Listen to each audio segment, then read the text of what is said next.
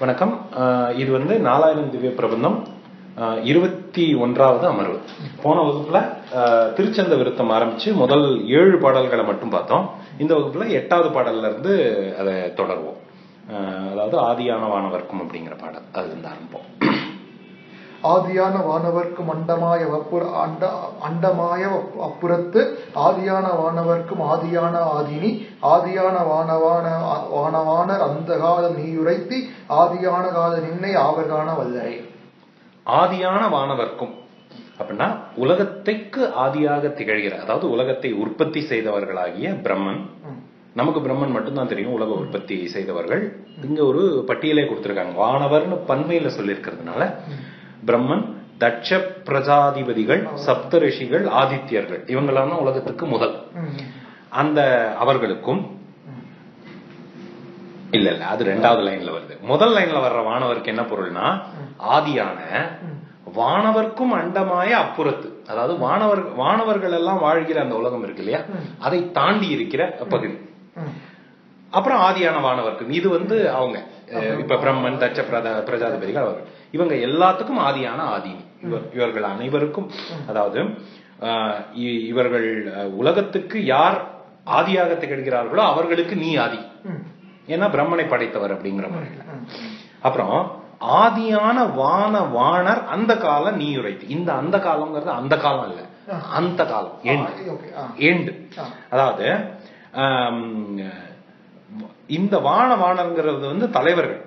வான வாணர்கள் தலைவர்கள் யார் யாரெல்லாம் இருக்காங்களோ அவர்கள் என்றைக்கு அந்தமாவார்கள்ங்கிறதையும் நீ தான் சொல்லுவ ஆதியான கால நின்னை யாவர்கான வல்ல வல்லரி அதாவது ஆதி இந்த இது இந்த கடைசி ஆதியான காலம் வந்து பிரளய காலம்.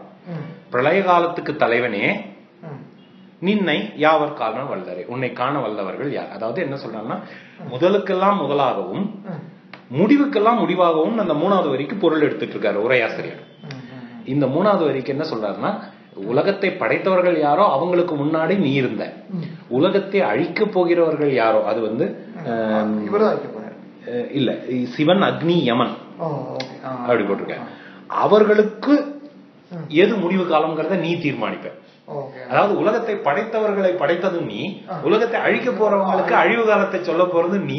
அப்ப நீ எப்பவும் நிலைச்சிருக்கிற அதை யாவர் காண வல்லவர்கள் அப்படின்னு. அது வந்து அந்த இதுல வரும் இல்லையா? திருவம்பாவையில வரும் இல்ல?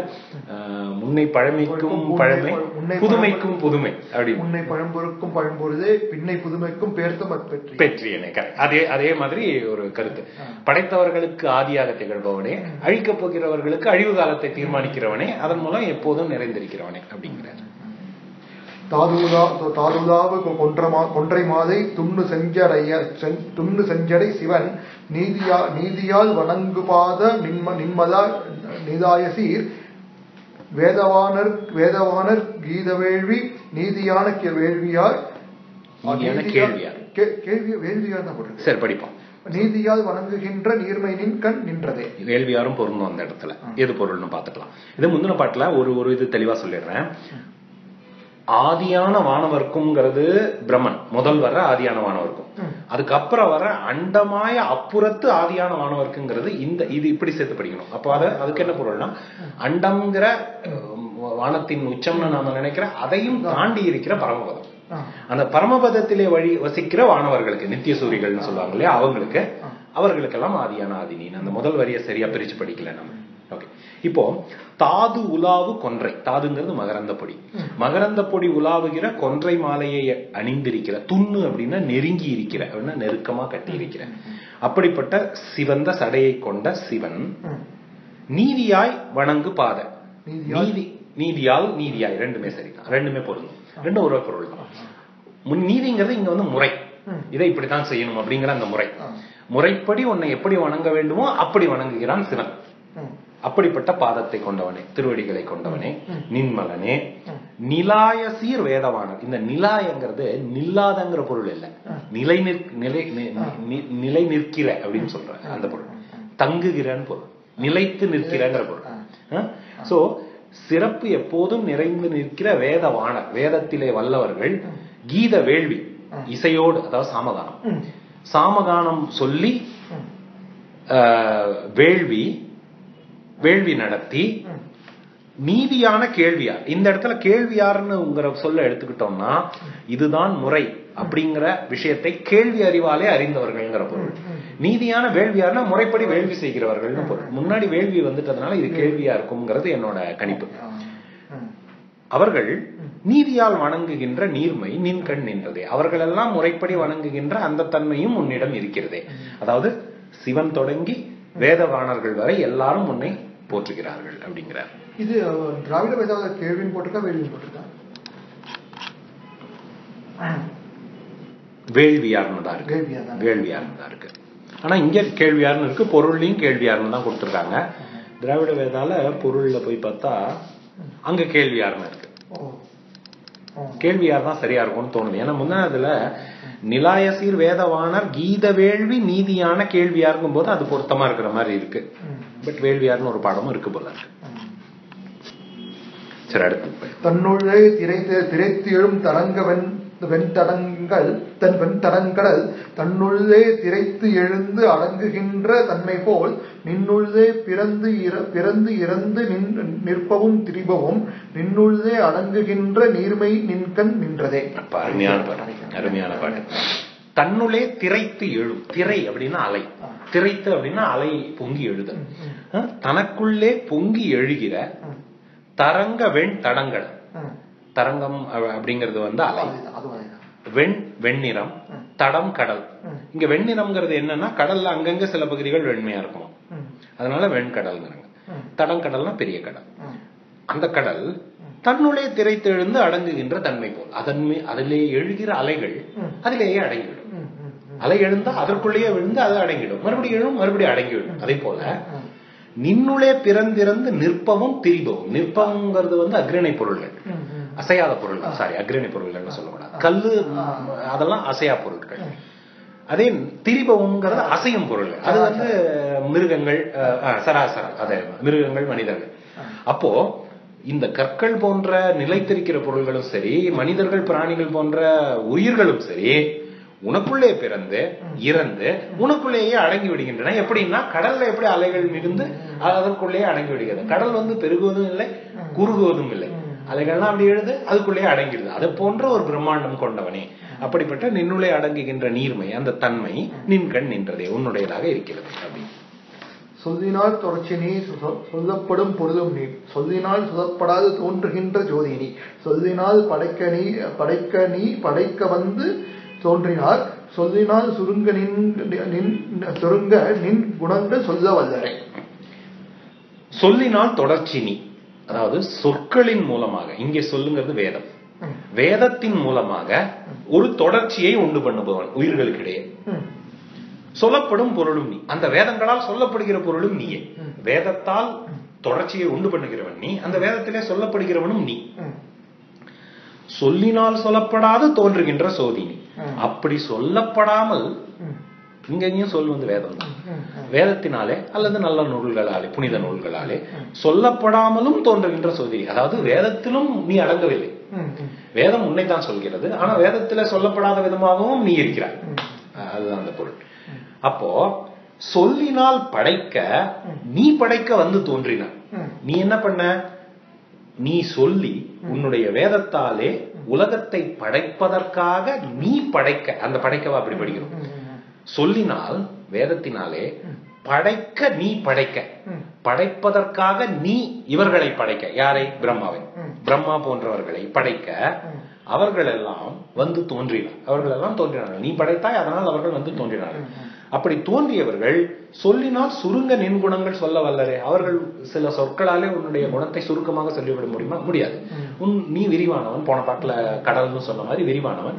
அதை சொற்களாலே யாராலும் சொல்லிவிட முடியாது. அந்த பிரம்மனே நினைத்தாலும் வேதத்துக்கு அதிபதியாகி அந்த பிரம்மனே நினைத்தாலும் சொல்லால் உன்னை விளக்கிவிட முடியாது. அப்படிங்கிறார் உலகு உலகு தன்னை நீ படைத்து உள் உள்ளொடுக்கி வைத்தி மீண்டும் மீண்டும் உலகு உலகு தன்னோ தன்னுள்ளே பிறத்தி பிற- பிறத்தியோர் இடத்தை அல்லையால் உலகு நின்னோடு ஒன்- ஒன்றி நிற்க வேறு நிற்றி ஆடு- ஆடுதால் உலகில் உலகில் நின்னை உள்ள சூழல் யாவருள்ள வல்லரே ஓகே. இந்த பாட்டு முழுக்க ஃபுல் ஸ்டாப் எங்க வைக்கிறீங்கிறத பொறுத்து தான் இதோட பொருளே மாறும். முதல் வந்து உலகு தன்னை நீ படைத்தி ஃபுல் ஸ்டாப் உலகை அல்லது செமிகோலன். உலக தன்னை நீ படைத்தி. நீ உலகத்தை படைத்தாய். இது தெளிவா இருக்கு. உள்ளொடுக்கி வைத்தி. உனக்குள் ஒடுக்கி வைத்தாய். எதை உலகத்தை. சோ உலக தன்னை நீ படைத்தி. உலக தன்னை உள்ளொடுக்கி வைத்தி. அப்புறம் மறுபடியும் உலக தன்னை இந்த உலக தன்னைங்கிறத இங்க வச்சுட்டு ஒவ்வொரு ஒவ்வொரு வரியிலையும் சேர்த்துக்கணும் அதுக்கு பேர்? தீப இதுன்னு சொல்லுவாங்க. தீப தீபாந்த ஏனோ அதுக்கோட அந்த அணியோட பேர் எனக்கு மறந்து போச்சு. அதாவது எப்படின்னா ஒரு தீபம் வந்து ஒவ்வொரு இடத்துக்கும் போய் அந்தந்த இடத்துக்கு வெளிச்சம் தர மாதிரி இந்த சொல் வந்து அங்கங்க சேர்ந்து பொருள் தரும் அது ஒரு ஒரு அணி இலக்கணம். மீண்டு உலக தன்னுள்ளே பிறத்தி அதுக்கப்புறம் நீ என்ன செய்கிறாய்? அந்த உலகத்திலேயே பிறக்கிறாய். ம், நீயே படைக்கிறாய் நீயே உள்ளொடுக்கி வைக்கிறாய் நீயே அதில் தோன்றுகிறாய். அவதாரம் எடுக்கிறாய். ஓரிடத்தை அல்லையா? நீ ஒரு இடத்திலே நிற்பதில்லை. உலகு நின்னோடு ஒன்றி நிற்க வேறு நிற்று. உலகம் உனக்குள்ளே ஒடுங்கி நிற்கிறது. ஆனால் நீ தனியாக நிற்கிறாய். ம், உலக உலகமே நீதான். ஆனால் நீ தனியாகவும் இருக்கிறாய். எல்லா இதுலயும் இருக்கிறாய். வேறு நிற்றி ஆதலால் இது இப்படியெல்லாம் நீ இருப்பதாலே உலகில் நின்னையுள்ள சூழல் யாவர் உள்ள வல்லரே? உன்னுடைய இந்த ஆச்சரியமான தன்மையை யாராலே நினைக்க முடியும்? அந்த உள்ள வல்லரேங்கிறதுக்கு உள்ளுதான் நினைத்தா. இதை யாராலே நினைக்க முடியும்? இதை வந்து கற்பனை பண்ணுவது கூட அசாதாரணமா இருக்கே. நீயே உலகத்தை படைக்கிற நீயே அதை உள்ள ஒடுக்கி வச்சுக்கிற நீயே அதுல பிறக்கிற அங்கேயும் ஒரு இடத்துல இல்லாம பல பல இடத்துல பல தன்மைகளோடு காணப்படுகிறாய். உலகம் உன்னோடு ஒன்றி நிற்கிறது. நீயே உலகமாக இருக்கிறாய். ஆனா நீ தனியாகவும் இருக்கிறாய். இதை வந்து எப்படி எங்களால கற்பனை பண்ண முடியும்? எங்களால நினைக்க கூட முடியலையே அப்படிங்கிறார். இன்னைய இன்னையென்று சொல்லதாவது சொல்லதாவது எதையாதும் இதையாவது இது இதையாதும் இட்டிரை பின்னை கேழ்வன் என் என்பர் என்பர் உன் என்பர் உன் வினக்குணர்ந்த பெற்றியோர் பின்னையாய கோலமோடு பேரும் ஊரும் ஆதியும் நின்னையார் நினைக்கவல்ல நீர்மையால் நினைக்கது நினைக்குது. இன்னை என்று சொல்லல் ஆவது இல்லை. இன்னை அப்படின்னா இப்படிப்பட்டவன். இன்னை அப்படின்னா இப்படிப்பட்டவன் நீ. நீ இப்படிப்பட்டவன் அப்படின்னு யாராலையும் சொல்ல முடியாது. அப்படி அப்படி சொல்லுவதற்கு ஒன்றுமில்லை. ஏன்னா நீ பல விதமாக இருக்கிறாய். இவன் இப்படிதான்ப்பா அப்படின்னு சொல்லிட்டு வரையறுத்திட முடியாது ஒண்ணு நீ இப்படி இப்படி ஒரு ஒரு ஒரு வரையறையில் அடங்குகிறவன் இல்லை. நீ எல்லாமாகவும் இருக்கிறாய் எல்லா தன்மைகளோடும் இருக்கிறாய். யாதும் இட்டிடை பின்னை கேழ்வன் என்பர் உன் பிணக்குணர்ந்த பெற்றியோர். இந்த பிணக்குங்கிற சொல்லுக்கு என்ன பொருள் கொடுக்குறாங்கன்னா உன்னுடைய அவதார நாம விஷயங்களில் உன்னை அடைந்தார்க்கும் அல்லாதவர்க்கும் உள்ள விவாதம். அதாவது உன்னை புரி உன்னை உன்னிடம் அடிமையாக வந்து சேர்ந்தவர்களுக்கும் உன்னிடம் அடிமையாக வந்து சேராதவர்களுக்கும் இடையே நடக்கிற பிணக்கை அறிந்தவர்கள் உன்னை எப்படி அழைப்பார்கள் அப்படின்னா நப்பிண்ணையின் கேழ்வன் அப்படின்னு சொல்லுவாங்க. கணவன் நப்பிண்ணையின் கணவன். அந்த நப்பிண்ணைக்கு என்ன வர்ணனைனா யாதும் இட்டு இடை. அப்படின்னா நுணுக்கமான இடையை உடைய நப்பிண்ணை அப்படின்னு பொருளாம். அப்படிப்பட்ட நப்பிண்ணையின் கணவன் அப்படின்னு ஒரு சில பேர் உன்னை சொல்லுவார்கள். பின்னை இல்ல பின்னையாய கோலமோடு பேரும் ஊரும் ஆதியும். இந்த பிணை நப்பிணை ஓ அது ஃபர்ஸ்ட் பிணை தான் நப்பிணை இல்ல முதல் பின்னை வந்து நப்பிண்ணை இந்த பின்னை வந்து பிறகு. என்பன் இருங்க இருங்க ஒரு நிமிஷம். இல்ல பின்னைனா பின்னே அப்படிங்கிற பொருள் தான் கண் இது பண்ணிடலாம் உறுதி பண்ணிடலாம் மூடு பேரும் ஊரும் ஆதியும்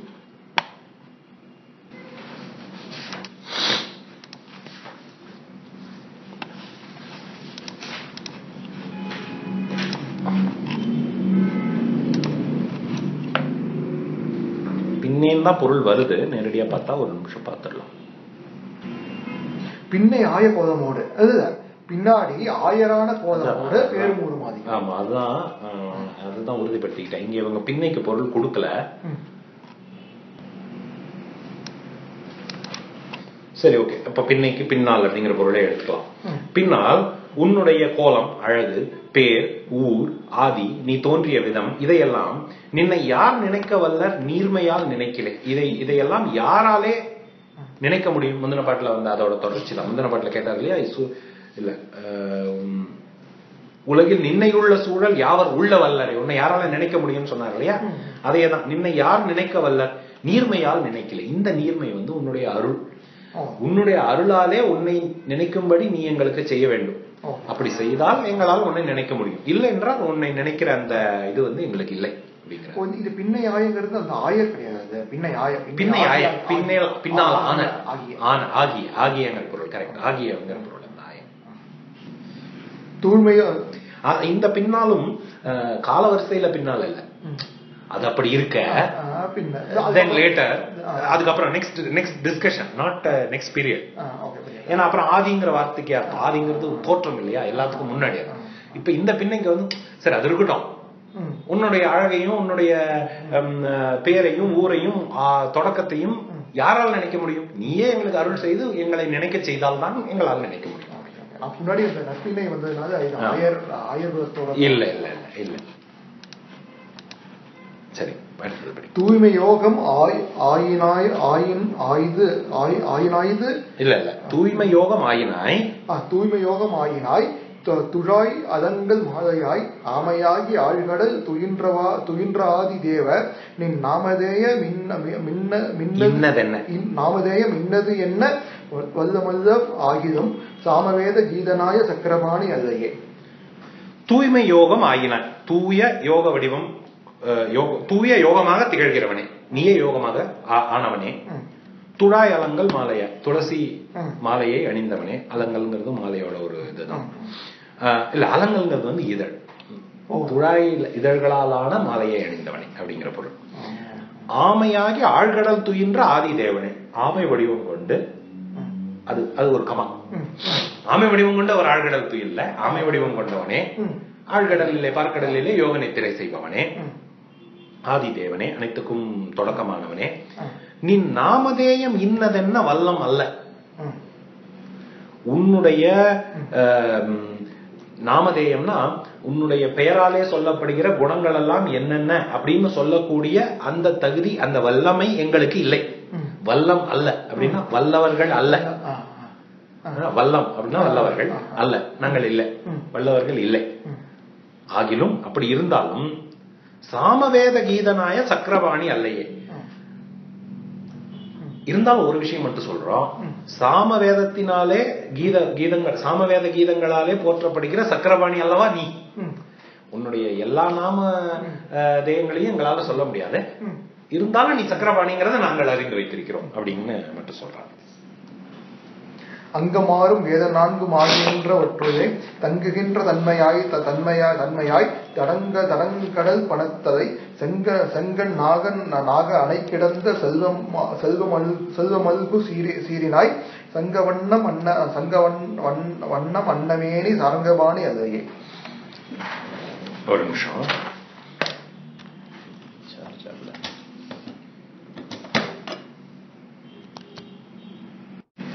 சரி இப்போ அங்கம் ஆறும் வேதம் நான்கும் ஆகி நின்று அவற்றுள்ளே தங்குகின்ற தன்மையாய். வேதத்துக்கு வேத நான்கு வேதங்கள் அது தெரியும். அங்கம்ங்கிறது வேதத்துக்கு அங்கங்கள் ஆறு. சோ நான்கு வேதங்களாகவும் ஆறு அங்கங்களாகவும் இந்த ஆறு அங்கங்கள் என்னன்னா சிக்ஷை வியாக்கரணம் சந்- சந்தஸ் நிருக்தம் சோதிடம் கல்பம். அப்படிங்கிற ஆறு அங்கங்கள். நான்கு வேதங்கள். இவை எல்லாமாகவும் ஆகி அவற்றுள்ளே நின்று தங்குகின்ற தன்மையாய் அவற்றிலே தங்கி இருக்கிற தன்மையை கொண்டவனே தடம் கடல். பெரிய கடல் இல்லை. பணத்தலை செங்கண் நாக அணை. பணம்னா படம். படம் எடுத்து ஆடுகிற தலையை கொண்ட சிவந்த கண்களை உடைய நாகம் ஆதிசேஷனை அணை. படுக்கையாக கொண்டு கிடந்தவனே. செல்வம் செல்வம் மல்குதான். மல்குதானே இல்ல இல்லைங்க செல்வம் சிறக்கிற செல்வம் நிலைத்து நிற்கிற செல்வம் பொங்குகிற.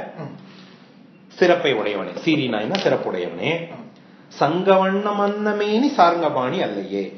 சங்கினுடைய வண்ணம் போன்ற திருமேனி கொண்ட சார்ங்கபாணி ராமன்.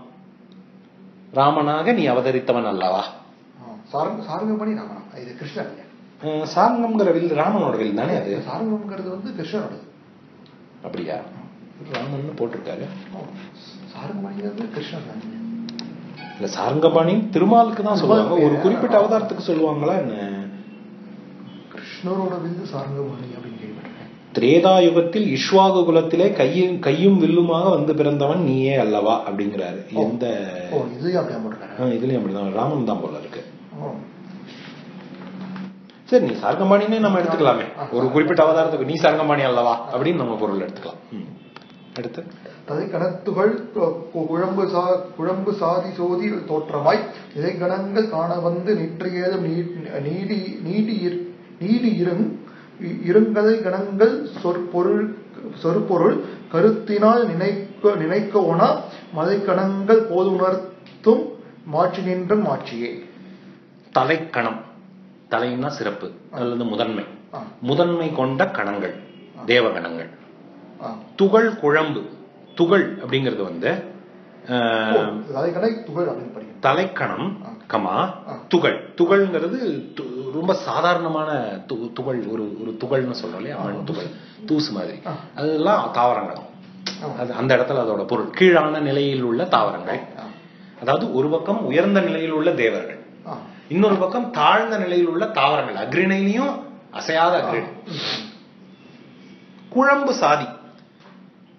என்ன குழம்புனா புண்ணியமும் பாவமும் குழம்பி இருக்கிற மனிதர்கள் ரெண்டும் கொண்ட மனிதர்கள். அப்புறம்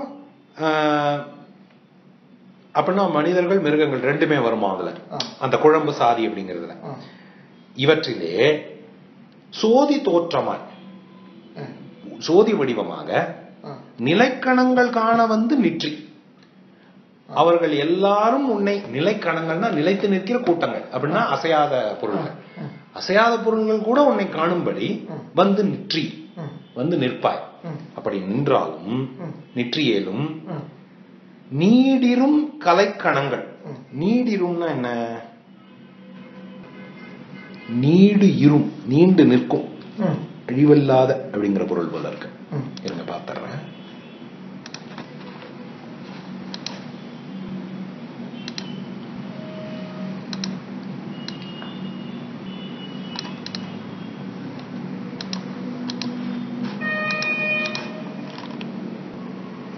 நீடு இரும். நிலை நிரந்தரமாக நிலைத்திருக்கிற அப்படிங்கிறது பொருள். இதுல அந்த ஏலும் வந்து இதோட சேர்த்துக்கிறாரு. நிற்றியோட அந்த வாக்கியத்தை முடிச்சுட்டு. ஏலும் நீடு இரும் கலைகணங்கள் அப்படிங்கிறாரு. அதாவது நிரந்தரமாக நிலைத்திருந்து விரிந்திருக்கிற அதாவது பறந்து விரிந்திருக்கிற கலைக்கணங்கள் அப்படின்னா வேதங்கள் போன்ற அனைத்து சாத்திரங்களும். சொற்பொருள் கருத்தினால் நினைக்கவனா மலைக்கணங்கள் போல் அவை அவையெல்லாம் சொற்களாலும் பொருளாலும் கருத்தினால் அதிலே சொல்லப்படுகிற கருத்தினாலும் நினைக்க முடியாதபடி மலைக்கணங்கள் போல் உணர்த்தும் மாட்சி மலை கூட்டங்களைப் போல உன்னுடைய சிறப்பு. இருக்கிறது. உணர்த்தும் மாட்சி நின்றன் மாட்சி. அப்ப உன்னுடைய உன்னுடைய சிறப்பு அப்படிப்பட்ட சிறப்பாக இருக்கிறது. ஒரு பக்கம் அற்ப துகள்கள்ல ஆரம்பிச்சு வானவர்கள் வரைக்கும் எல்லாரும் காணும்படி நீ நிற்கிறாய்.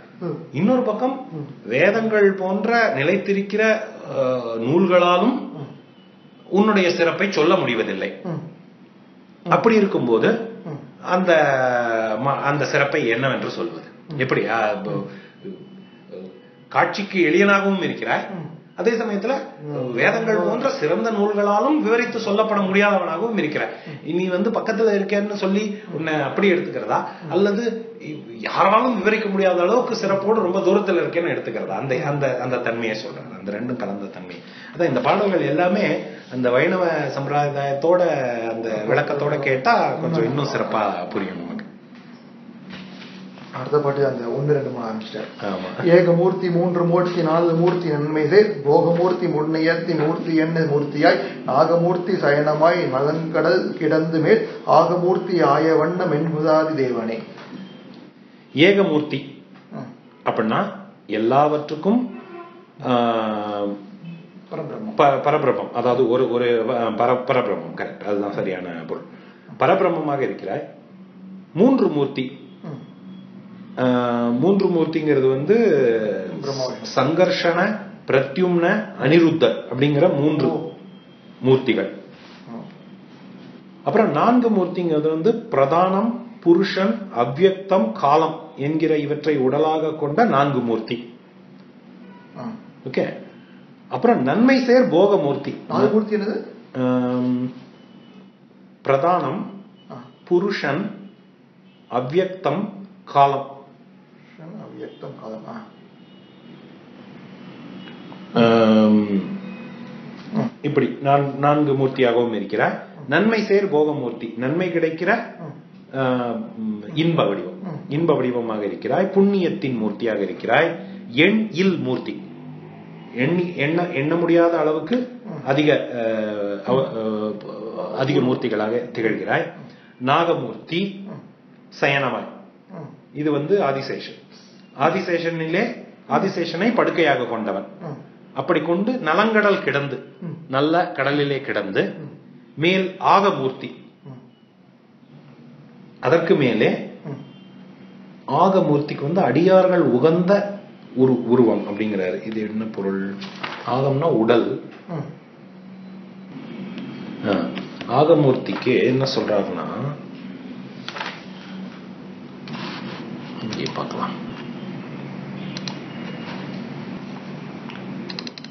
அடியார்கள் என்ன வடிவத்திலே அவனை வணங்க விரும்புகிறார்களோ அந்த வடிவத்திலே தோன்றுகிறவன். அப்படிங்கிற பொருள் கொடுத்திருக்காரு இவர். இங்கேயே தான் கொடுத்திருக்காரு. அடியார்கள் உகந்த உருவம். அப்படி ஆய வண்ணம் என்கொல் ஆதி தேவனே அதை நாங்கள் எப்படி இது இது எப்படிப்பட்ட தன்மையோ ஆதி தேவனே அப்படின்னு சொல்லி ஆய வண்ணம்னா அப்படியான தன்மை. அப்படின்னு சொல்றாரு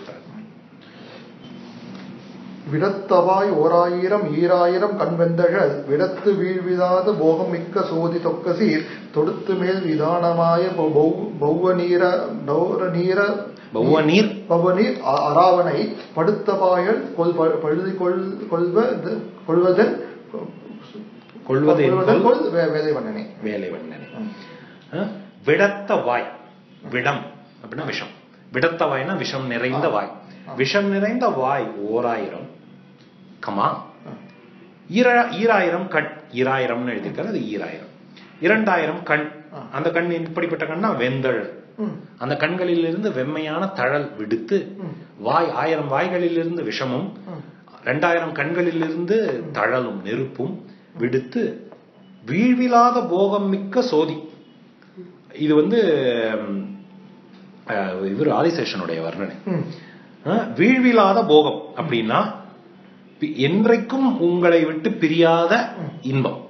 என்ன அவர் தானே படுக்கையா. இருக்காரு அதனால என்றைக்கும் உங்களை விட்டு பிரியாத அந்த இன்பத்தை கொண்ட. சோதி தொக்க பேரொளி உடையவர். சோதி தொக்க சீர். சிறப்புடையவர். தொடுத்து மேல் விதானம் இப்படிப்பட்ட ஆதிசேஷனை மேல் விதானமாக அவர் படுத்திருக்கும் போது அது மேல் விதானமாக ஆதிசேஷன் திகழ்கிறார் பௌவ நீர் அரா அணை. பௌவம்னா கடல். கடல். நீரிலே ம். அரவ பாம்பு படுக்கையிலே. படுத்த பாயல் பள்ளி கொள்வது என்கொள் வேலை வண்ணனே. கடல் வண்ணம் கொண்டவனே இப்படி படுத்த நிலையிலே பள்ளி கொண்டு அருளுகிறாயே இது என்- என்ன என்ன தன்மை இது அப்படிங்கிறாரு. பாயல்னா பாய்? பாயல்னா பாய். ஆமா. பாயல் கரெக்ட் பாயல்னா படுக்கை. பாய் தான் பாயல்னா படுக்கை அதான் ஞாபகம். என்ன பார்த்தோம்? பாயும் படுக்கை தான் என்ன பொருள்? சயகம் அப்படின்னு ஒரு சொல்லுங்க இதுக்கு என்ன பொருள்? தேடும்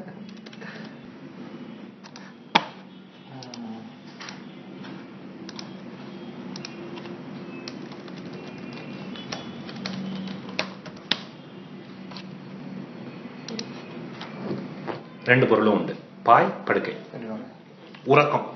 அதுவும். சுழுதாகி வேத நான்கும் வேத நான்கும் ஆதிய ஆதி ஓதினாய் அதன்றியும் புழுதின் வாய் பிதந்து புட்கொ- புட்கொடி பிடித்த பின்னரும் பு- புழுதையூர் அஹ், புழுதையூர் ஆ- பு- புழுதையூர் தியா புள்ளை ஊர்தி. புழுதையூர்தி ஆதலால் ஆதலால் தெ- தென் கொல்மின் கொள் நேமியாய் புழுதின் மெய்ப்ப மெய்ப்பகை கடல் கிடத்தல் காதலித்தே. காதலித்ததே. காதலித்ததே? புல் அது ஆகி வேத நான்கும் ஓதினாய். நீ ஒரு பறவை. இது இது கருடன்? கருடன்? இல்ல இல்ல அன்ன வடிவம். ஓ அண்ணவன் வேதத்தை சொன்னது. அன்ன வடிவம். எடுத்து நான்கு வேதங்களையும் ஓதினாய். அது அன்றியும் புள்ளின் வாய் பிளந்து. அது இல்லாம. பகாசுரன் பறவை பறவை வடிவத்திலே வந்தபோது அதன் வாயை பிளந்தாய். புட்டு கொடி பிடித்த பின்னரும். இல்ல புல்து புல்துன்னு படிக்கணுமா அத? புட்டுங்கிற. புட்கொடி அப்படிதான் போட்டிருக்கு புட்கொடி தான் போட்டிருக்கு டு இல்லையாங்க? அப்போ புட்கொடி அப்ப அது புல் தான். அப்போ புல் கொடி பிடித்த பின்னரும். ஒரு கருடனை கொடியாக பிடித்துக் கொண்டாய். புள்ளை ஊர்தி. அந்த கருடனையே ஊர்தியாகவும் வைத்துக்கொண்டு ஊர் ஊர்கிறாய். இந்த ஊர்தி வந்து ஊர்கிறாய்ங்கிற பொருள். ஆதலால் அதென்கொள் மின்கொள் நேமியாய். இப்படி எல்லா விதத்திலையும் பறவையை வந்து பறவைகளோடு தொடர்புடையவனாக இருக்கிறவனே மின்னல் மின்னல் மின்னல் மின்கொள் நேமியாய். மின்னல் அடிக்கிற சக்கராயுதத்தை கையில் ஏந்தியவனே புள்ளின் மெய்ப்பகை கடல் கிடத்தல் காதலித்ததே. ஆனா நீ படுக்கிறதுக்கு மட்டும் அந்த கருடனுக்கு விரோதியான நாகத்தை படுக்கையாக எடுத்துக்கொண்டிருக்கிறாய் அது என்ன? அன்னம் அன்னப்புல்லாக வேதத்தை ஓதி ஓதிக்கொண்டு பகாசுரன் புல்லாக வந்தபோது அவன் வாயை பிளந்து புல்லை கொடியாக கருடனை கொடியாக வைத்துக்கொண்டு கருடனை ஊர்தியாக வைத்து ஊர்ந்து கொண்டு ஆனால் படுப்பதற்கு மட்டும் புல்லின் எதிரியான நாகத்தை படுக்கையாக ஏற்றுக்கொண்டிருக்கிறாயே ஏன்? காதலித்தது என விரும்பியது. நீ ஏன் இதை விரும்பினாய்? சோ முதல் புல் வந்து அன்னப்பறவை. ரெண்டாவது புல் கொக்கு பகாசுரன். மூணாவது புல் கருடன் நாலாவது புல்லும் கருடன். அஞ்சாவது புல்லும் கருடன் ஏன்னா புல்லின் மெய்ப்பகை. கருடனுடைய பகை ம். அப்படிங்கும்போது ஆதிசேஷன் கூசம் ஒன்றும் இன்றி கூசம் ஒன்றும் இன்றி மா மாசுனம் படுத்த வேலை நீர் பேச நின்ற தேவர் வந்து பாடமுன் பாடம் பாடமுன் கிடந்ததும் பாசம் நின்ற நீரில் வாழும் ஆமையான கேசவா? ஏசவன் ஏசவன்று ஏசவன்று நீ கிடந்த வாறுகூறு தேரவே கூசம் ஒன்றும் கூசம்ங்கிறது கூச்சம். கூசம் ஒன்றும் இன்றி மாசுனம் படுத்து. நீ என்ன பண்ற? கொஞ்சம் கூட கூச்சம் இல்லாம. இல்ல இல்ல மாசுனம்ங்கிறது வந்து இது இதுதான். ஆதிசேஷன் தான். கொஞ்சம் கூட கூச்சம் இல்லாம நீ என்ன பண்ணிட்ட? ஆதிசேஷனை விரிச்சு ஆ அஹ், படுத்துட்ட அங்க. எங்க படுத்துனா நான் வந்து இவர் காலையில படுத்து இல்ல படுத்து படுத்துக்கொண்டு வேலை நீர் கடல் கடல் நீருக்கு நடுவுல படுத்து விட்டாய். ஆ, கூசாமல். ஏன் கூசாமல்னு சொல்றாருன்னு பின்னாடி தெரியும் ஆ, பேச நின்ற தேவர் வந்து பாட முன் கிடந்ததும் தேவர்கள் எல்லாம் உன் முன்னால் வந்து உன்னுடைய புகழை பாடுகிறார்கள். ஆனால் நீ அப்படியே கிடந்த திருக்குளத்திலே அங்கே இருக்கிறாய். ம், பாச நின்ற நீரில் வாழும் ஆமையான கேசவா? அப்படின்னா பாசம் பாசம் பிடித்த அந்த நீரிலே ஆமையாக பாசம் பாசம் பிடித்த நீரிலே வாழ்கிற ஆமை வடிவம் எடுத்த கேசவனே. ஏச. அப்படின்னா உன்னுடைய உன்னை நம்பாதவர்கள் உன்னை இன்னும் ஏற்றுக்கொள்ளாதவர்கள் அவர் என்ன பாம்பு மேல படுத்துட்டு இருக்காரு பாசம் பிடிச்ச நீர்ல கிடக்குறாரு அவரை போடுறதுக்காக தேவர்கள் வந்தா கூட எழுந்திருச்சு அவங்களுக்கு வந்து எதுவும் சொல்றது கிடையாது. அவர் பாட்டுக்கு படுத்துக்கிட்டே இருக்காரு நீங்க வந்து பாடுங்கன்னு சொல்லி. இப்படியெல்லாம் அவங்க ஏசும்படி அன்று நீ கிடந்தவாறு கூறு தேவவே. தேவனே இப்படி நீ ஏன் கிடந்தாய்? இது வந்து ஒரு விதத்துல இப்போ சிவனை சொல்லுவாங்க இல்லையா? சுடுகாட்டுல இருக்க இதெல்லாம் பூசிக்கிட்டு இருக்க உடம்புல எல்லாம் ஆபரணங்கள் போடாம எலும்பு மாலையை போட்டுட்டு இருக்க அப்படின்லாம் சொல்லுவாங்க இல்லையா? அந்த மாதிரி நீ வந்து உன்னுடைய உன்னுடைய தகுதிக்கு நீ நீ எப்படியோ ஒரு அரண்மனையில அப்படி ஒரு இந்த கட்டில்ல படுத்துக்கிட்டு இருக்க இருக்க வேண்டியவனாச்சு. ஆனா நீ வந்து இப்படி கொஞ்சம் கூட கூச்சம் இல்லாம ஒரு பாம்பு விரிச்சு அது மேல படுத்துக்கிட்டு இருக்க. யாராவது உன்னை பார்க்க வந்தா கூட எழுந்திருக்காம நீ பாட்டுக்கு கிடந்த திருக்கோலத்திலேயே இருக்க. பாசம் இருந்த நீர்ல வாழற ஆமை வடிவம் எடுக்கிற. இப்படி மற்றவர்கள் உன்னை ஏசும்படி நீ ஏன் நடந்து கொள்கிறாய் என்று எங்களுக்கு சொல்ல. அப்படின்னா அதாவது அந்த தன்மை எங்களுக்கு புரியல. நீ ஏன் அப்படி இருக்கேங்கிறது எங்களுக்கு புரியல. அதை எங்களுக்கு விளக்கி சொல்லு அந்த ஏசன்றுங்கிறது அவங்கள பயன் அவங்கள பயன்படுத்திக்கிட்டு எங்களுக்கு கொஞ்சம் விளக்கு உன்னுடைய தன்மை அப்படின்னு ஏ- ஏசுங்கிறது வந்து பொதுவா வந்து அந்த திருநெல்வேலி பாஷை தான் இல்லையா இது வந்து இவரும் திருமிழிசை அவர்கள் படுத்து இது யூஸ் பண்ணியிருக்கிறது கொஞ்சம் இதா இருக்கு இல்ல ஏசு- ஏசுதல் பொதுவான சொல் தானே இசுதங்கிறது பொது பொது- பொது ஏச்சு ஏசுதல் பொதுவான சொல் தான் ஏசினான் அப்படிங்கிறது வந்து பொதுவா இருக்கு இருக்கு இருக்கு இருக்கு இருக்கு. நிறைய பயன்படுத்தியிருக்காங்க மத்தவங்களும் பயன்படுத்தியிருக்காங்க. ஏசுதல்ங்கிற பொருள் அந்த அளவுக்கு ஒரு வட்டாரத்துக்கு சார்ந்த பொருள் மாதிரி எனக்கு தோணல. இப்ப பேச்சு வழக்குல அவங்க மட்டும் அதை ரீட்டைன் பண்ணிட்டு இருக்கலாம். அது நாம எவ்வளவோ சொற்களை இழந்துட்டோம். இப்போ இப்போ உதாரணத்துக்கு இப்ப வீட்டுக்கு மனைங்கிற பொருள் வந்து இங்க பயன் இங்க பயன்பாட்டுல இருக்கு. நம்ம ஊர்ல பயன்பாட்டுல இல்ல. இவங்க பயன்பாட்டில் வச்சிருக்குங்கிறதுனால மனைங்கிற சொல் கன்னடத்துல இருந்து வந்ததுன்னு சொல்லிட முடியாது இல்லையா? அந்த மாதிரி அர்த்தத்துல சொல்றேன். அரங்கனே தரங்க நீர் க- கலங்க அன்று குன்று சூழ். ம- மரங்க ம- மரங்க மரங்களே மரங்க மரங்கள் ஏய மாநிலம் கு- குலுங்க மா குலுங்க மாசுனம் சுதாய்.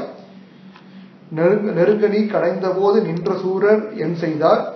குரங்கையால் குரங் கு- குரங்கையால் உகந்த வெந்தை கூறுதேர வேரி கூறுதேர கூறுதேர ஏறிதே இதுல இந்த பாசம் நின்ற நீருக்கு ஒரு சுவாரஸ்யமான விளக்கம் கொடுத்திருக்காங்க. தண்ணீருக்கு அதிர்ஷ்டாக தேவதை வருணன். அந்த வருணனுக்கு ஆயுதம் பாசம். அதனாலே பாசம் என்றதே. நாம சொல்ற இந்த தண்ணி பாசம் இல்ல போல இருக்காது. பாசத்துக்கு ஆயுதம்னு ஒரு பொருள் இருக்கு. அந்த பாசம் வந்து வருணனுடைய பா- அது யமனுக்கு தான் பாசம் இல்லையா? வருணனுக்கு பாசம். இந்த பாசத்துக்கு என்ன பொருள்னே தெரியலையே. வருணனுக்கே பாசம்னு பேராம். ஓ இந்த பாசத்துக்கு அன்புன்னு ஒரு பொருள் இருக்கு இல்லையா? அப்போ அப்படியும் வச்சுக்கலாம் அவனை. பாசம்ங்கிறது அன்பு. பரமபதத்தை காட்டிலும் இந்த நீரே நமக்கு போக்கியமான இடம் என்று எம்பெருமான் ஆசைப்படத்தக்க நீர் அப்படிங்கிற பொருள். ஆ. அப்படி எடுத்துக்கலாம் பல விதமான பொருள்கள் சொல்லலாம் பாசத்தோட நின்ற. ஆமா பாசத்தோடு. அரங்கனே. தரங்க நீர் கலங்க அன்று குன்று சூழ் மரங்கள் தேய மாநிலம் குலுங்க மாசுணம் சுலாய் நெருங்க நீ கடைந்த போது. இது வந்து இது வாசுகிய வச்சு. கடலை கடைகிற அந்த காட்சி. அரங்கனே அரங்க திருவரங்கத்திலே பள்ளி கொண்டிருக்கிறவனே. தரங்க நீர் கலங்க கடல் நீர் கலங்கும்படி அன்றைக்கு குன்று சூழ் மரங்கள் தேய அந்த குன்றுல அந்த குன்றை வச்சுதானே இது பண்றாங்க அதை போட்டு அப்படி அரைக்கும் போது அங்க இருக்கிற மரங்கள்லாம் இதுவாகி போகும். வந்துடுறது. வந்துடுறது அதுல இருக்கிற மரங்கள்லாம் தேஞ்சு போகும்ல அதை சொல்றேன். அதெல்லாம் தேய மாநிலம் குலுங்க அங்க அந்த ஆட்ட ஆட்டுறது இங்க வந்து மாநிலமே ஒட்டுமொத்த உலகமும் குலுங்குது. அப்படி குலுங்க மாசுணம் சுலாய் சுலாய்னா சுற்றி. பாம்பை சுற்றி நெருங்க நீ கடைந்த போது நன்றாக நெருக்கி நீ அங்கே அன்றைக்கு கடைந்த போது நின்ற சூரர் என்ன செய்தார்? அப்படி பக்கத்திலே நின்ற சூரர்கள் யாரு? தேவர்களும் அசுரர்களும் நீ சூரன்னா தேவர் மட்டும்தான்? இந்த சூரர். இது ஓகே. சூரர்னா சூரத்தனம் கொண்டவர். அவங்க எல்லாம் செய்ய முடியும். ஆனா நீ தானே அங்க கிடைச்ச. அவங்க ஒரு பக்கம் இழுத்தாங்க இவங்க ஒரு பக்கம் இழுத்தாங்கனாலும் கடைசியில கிடைச்சது நீதான் ஆம், என் செய்தார் குரங்கை ஆழ்வுகந்த எந்தை. குரங்கு படையை வானரப்படையை.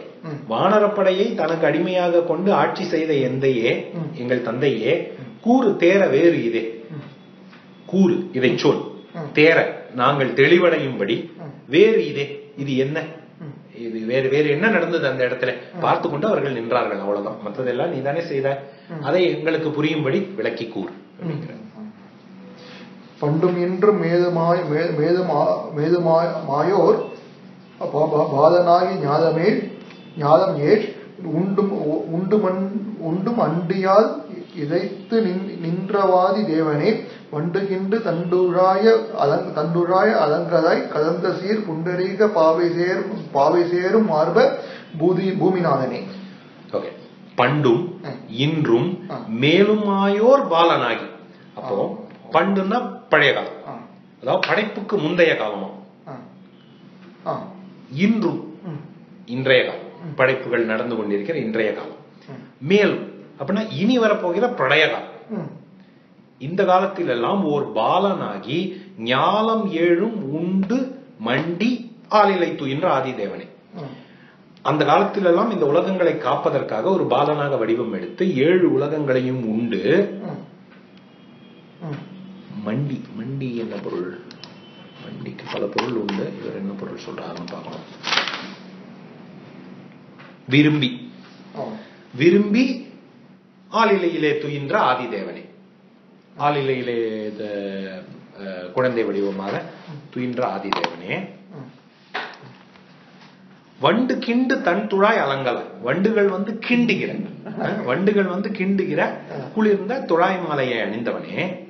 கலந்த சீர் சிறப்பு நிறைந்த புண்டரீக பார்வை. புண்டரீகம்னா தாமரை. தா- புண்டரீக பாவை. தாமரை போன்ற பெண். சேரும் மார்பனே.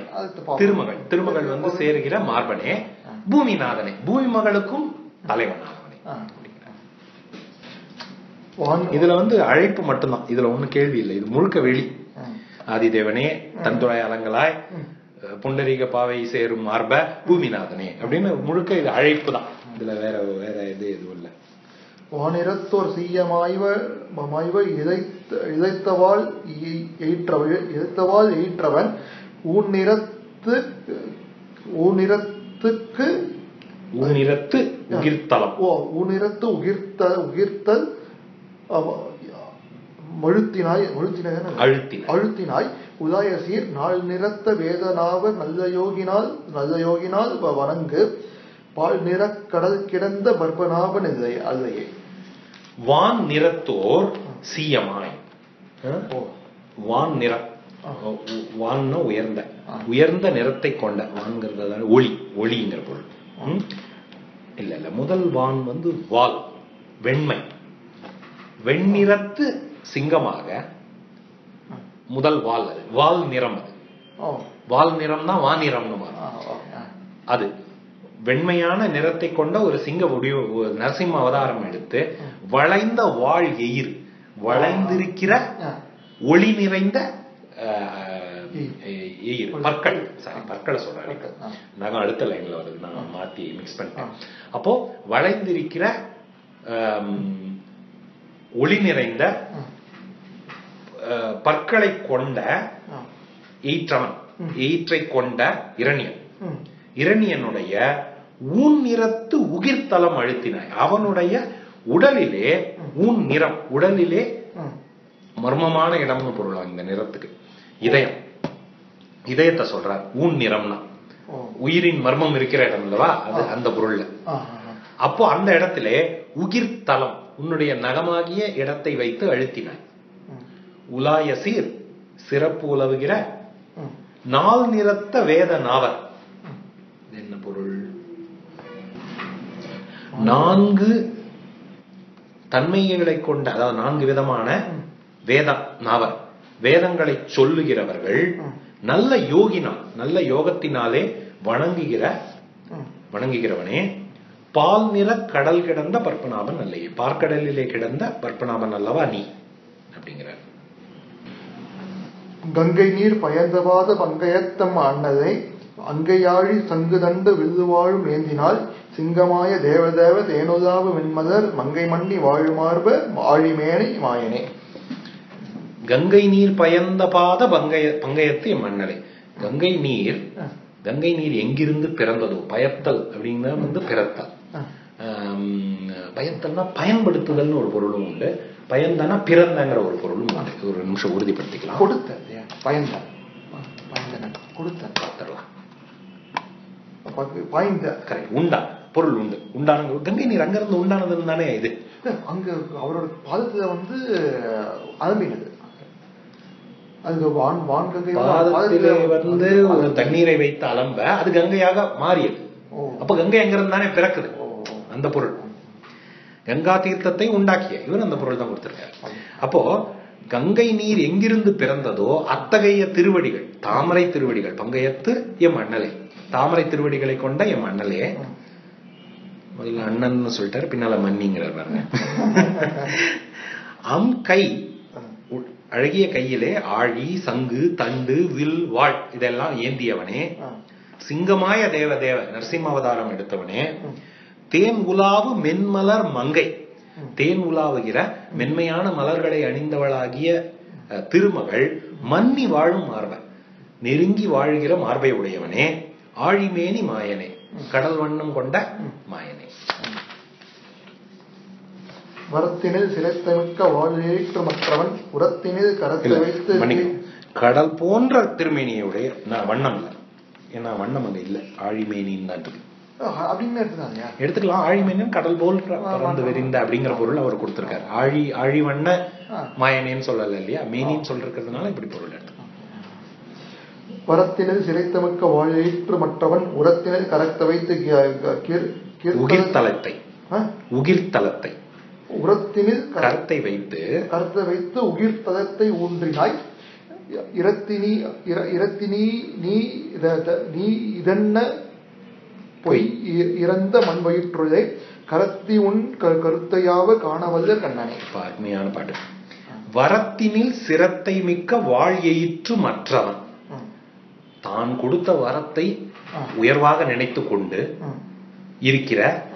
வாழ் போன்ற பற்களை உடைய அல்லது ஒளி நிறைந்த பற்களை உடைய அந்த இரணியன் அந்த வரத்தை தானே பெருசா நினைச்சிட்டு இருந்தான். பகல்லையும் சாவு கிடையாது ராத்திரிலையும் சாவு கிடையாது நிலத்துல இங்கே உள்ளியும் கிடையாது வெளியும் கிடையாது. அந்த வரத்தை உயர்வா நினைச்சுக்கிட்டு நம்மளை யாரும் அழிக்க முடியாதுங்கிற அந்த வரத்தையே ஒரு கவனம் கவனம் வைத்துக் கொண்டிருந்த அந்த சிரத்தை வாழையிற்று மற்றவன் உரத்தினில் கரத்தை வைத்து அவனுடைய மார்பிலே கையை வைத்து உகிர்த்தலத்தை ஊன்றினான் இவனுடைய நகத்தை அங்கே ஊன்றி. கிழித்தான் இரத்தினி. அப்படிப்பட்ட சிறப்பை கொண்ட நீ மகாபலி முன்னாடி ஒரு சின்ன பிள்ளை மாதிரி போய் நின்னு எனக்கு மூணு அடி நிலம் கொடுன்னு அவங்ககிட்ட கெஞ்சற. இது என்ன பொய்? இது என்ன பொய் வேஷம்? ஏன் இப்படி செஞ்ச நீ? சரி அதையாவது கொஞ்சம் கஷ்டப்பட்டு புரிஞ்சுக்கலாம்னு பார்த்தா அப்படி கஷ்டப்பட்டு இறந்த மண் கஷ்டப்பட்டு வாங்கிய மண்ணை வயிற்றுள்ளே கரத்தி உன் வயிற்றுக்குள்ள ஒழிச்சு வச்சுக்கிறேன். யாராவது நிலத்தை வாங்கி வயிற்றுக்குள்ள ஒழிச்சு வச்சுக்குவாங்களா? அதை அனுபவிக்க தானே செய்வாங்க. அதை எடுத்து வயிற்றுக்குள்ள வச்சுக்கிறேன். நீ உன் கருத்தை யாவர் காண வள்ளர் கண்ணனே? கண்ணனே உன்னுடைய கருத்தை யாராலே அறிய முடியும்? அப்படிங்கிற ஆணினோடு வெண்ணுமாகி அல்லவோடு நல்லவாய் ஊனின ஊன் ஊனோடு ஓசை ஊருமாகி ஒன்றதாத மாயையாய் பூணுபேன் பூணி பேணு மாயனாகி பொய்யினோடு மெய்யுமாய் காணிவேணும் மானி மானியாய் மானியாய் கறந்து சென்ற கல் கல்வனை மானியாய் கறந்து- மானியாய மானியாய் கர- கறந்து சென்ற கல்வனை. யாயவா யாயி அப்படின்னு போட்டு. இல்ல இங்க ஆயன்னு தப்பா இருக்கு. ஏன்னா இக்கு வராது. ஆயின்னா ஆயன்னா இக்கு வராது. ஆயின்னா இக்கு வரும். ஓகே இப்போ ஆணினோடு பொண்ணுமாகின் போட்டு. அது வர்த்தமானம் நிறைய தப்பு இருக்கு. இப்போ ஆனா உரை நல்லா இருக்கு. இந்த உரை யார் உரை? இராவா கமலக்கண்ணன். ம். அவர் தான் உரை எழுதியிருக்காரு. இப்போ ஆணாகவும் பெண்ணாகவும் அல்ல. ஆணாகவும் நீயே திகழ்கிறாய் பெண்ணாகவும் நீயே திகழ்கிறாய். இவை இரண்டும் அல்லாத இந்த இது திருநங்கைன்னு சொல்லுவாங்க இல்லையா? அவங்க அவன் அந்த அந்த தன்மையாகவும் நீயே இருக்கிறாய். அப்புறம் நல்லவாய். இல்ல. அல்லது அதை எப்படி எடுத்துக்கலாம்? ஆணினோடு பெண்ணுமாகி ஒரு ஸ்டேட்மெண்ட். அல்லவோடு நல்லவாய். கெட்டதாகவும் நல்லதாகவும். அப்படி அப்படியும் எடுத்துக்கலாம். அப்படியும் இருக்கிறாய். அப்புறம் ஊனோடு ஓசை ஊரும் ஆகி இப்போ ஊன் அப்படின்னா சுவை. ஓசைன்னா சத்தம். ஊருன்னா என்ன? கொஞ்ச நாள் கொஞ்ச நேரம் முன்னாடி பார்த்தோமே இந்த முதல் பாட்டுல சப்தம் ஊரு சுவை ஒளி ஊறு ஓசை நாற்றம். அப்படின்னா என்ன? சுவை. கண் சுவைங்கிறது நாக்கு. கண்ணு. காது. மூக்கு. அப்ப என்ன மிஸ்ஸிங் உணர்வு. உணர்வு. உணர்வு. தோல். அந்த உணர்வு. அதுதான் ஆ. அப்போ சுவை ஓசை ஊறு முதலியவற்றை நடத்தும் அப்படின்னா ஐந்தையும் நடத்துபவனேன்னு தான் பொருள். ஐந்தையும் பாட்டுல சொல்லலையே தவிர. இவையாகி ஒன்றல்லாத மாயைய. இவ இப்ப இது இப்படிதான் அப்படின்னு சொல்ல முடியாத மாயையாக பூனி பேணும் மாயனாகி. பூனி பேணும் ஆயனாகி? பூனினா பசுக்கள். பசுக்களை பேணுகிற ஆயனாகி அது மாயனாகின்னு படிக்கலாம் ஆ. ஆ. பசுக்களை பேணுகிற மாயனாகி ஆனா ஆயனாகி தான் ரொம்ப பொருத்தமா இருக்கு அந்த இடத்துல அங்க எப்படி போட்டிருக்கு பேணு மாயனாகின்னு ஆ. இம் ஆண் பிரிக்கல அவங்க இது பிடிக்கல இம்மானும் பிரிக்கலாம் இம்மானும் பிரிக்கலாம் ரெண்டுமே பொருந்தும் பூனி பேணும் மாயனாகி அல்லது ஆயனாகி பொய்யினோடு மெய்யுமாய். நீயே பொய்யாகவும் திகழ்கிறாய் நீயே மெய்யாகவும் திகழ்கிறாய். காணி பேணும் மானியாய். அவ்வளவு அழகான பதம் நிலத்தை விரும்பி பெறுகிற குள்ளம் பிரம்மச்சாரியா. வாமனாவதாரம் காணி பேணும் காணி பேணும் மானியாய். கறந்து சென்ற கல்வனை. மறைந்து தன்னை மறைத்து கொண்டு சென்ற கல்வனை அப்படின்னு. ரொம்ப அழகா அந்த திருச்சந்த விருத்தம்ங்கிறது எப்படி எவ்வளவு பொருத்தமானது இல்ல, காணி வேணும் மானியாய் கறந்து சென்ற கல்வனை. அந்த காணி வேணும் மானியாய் அந்த காணியை கறந்து சென்ற கல்வனை. கறந்து சென்ற கல்வனை அப்படியும் எடுத்துக்கலாம். மானியாய் கறந்து மானியை வடிவத்திலே ஒளிந்து சென்றவனே அப்படின்னு எடுத்துக்கலாம். அருமையா இருக்கு. அருமையா. இருக்கு. விண் கடந்த ஜோதியாய் விலங்கு ஞான மூர்த்தியாய் பண் கடந்த தேசமேவு பாவனா பாவனா பாவநாச நாதனே என் கடந்த யோகினோடு யோகினோ யோகினோ நோடு இறந்து சென்- சென்று மானியாய் மண் கடந்த வண்ணம் என்ன யார் மதிக்க வல்லரே? விண் கடந்த சோதியாய் விலங்கு ஞான மூர்த்தியாய். இது நேரடியாவே பொருள் புரியும். விண்ணை கடந்து நிற்கிற சோதி வடிவமாகவும் திகழ்கிற ஞான மூர்த்தி வடிவமாகவும் பண் கடந்த தேசமேவு பாவநாச நாதனே. பண். பண் கடந்த தேசம். அப்படின்னா பண்ணுங்கிறது வந்து வேதம். வேதங்களை கடந்த பரமபதம். அந்த தேசம். அந்த தேசத்திலே தேசம் மேவ். அங்கே நிற்கிற பாவநாச நாதனை பாவங்களை நாசம் செய்கிற தலைவனை. எண் கடந்த யோகினோடு தேசம்ங்கிறது வந்து தேகம் எடுத்துக்க முடியாது. தேசம். அது தேசு. தேசுங்கிறது ஒளி. தேஜஸ். தேஜஸ் ஒளி. இங்க வந்து பரமபதம். அங்கே திகழ்கிற பாவங்களை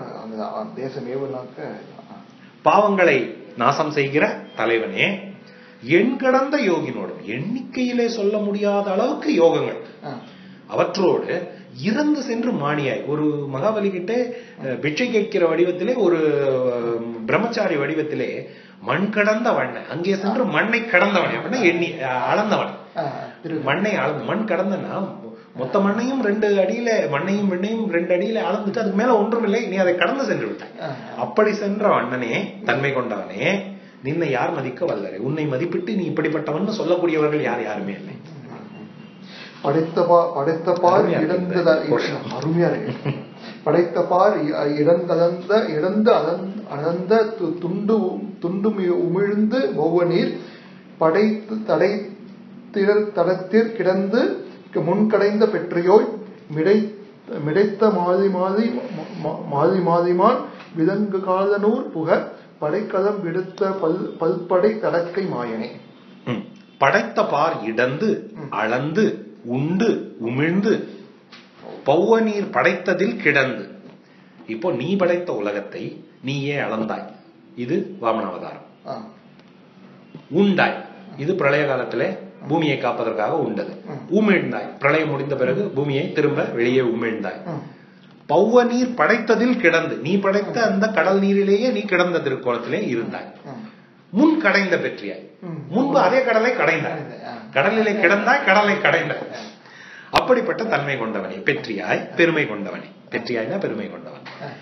மிடைத்த மாலி மாலி மான். அப்படின்னா என்ன மிடைத்த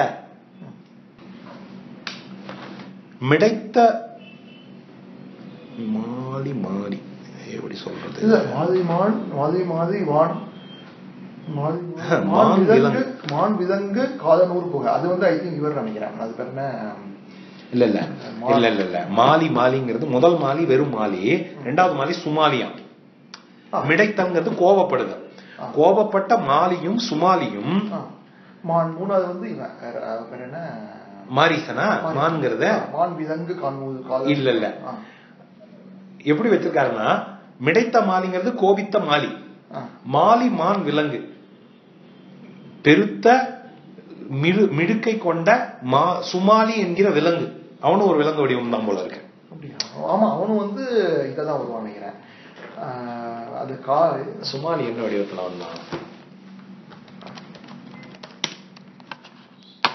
இது எத்தனாவது பாட்டு? இருபத்தி ஒன்பது. ரெண்டு பேரும் வந்து மாரிசனும் சுமாதியும் வருவான்னு நினைக்கிறேன். ஒருத்தரை கொண்டுட்டு ஒருத்தரை வந்து இதுக்கு கொண்டாந்து விட்டுருவார் ஒரு கடலுக்கு தாண்டி.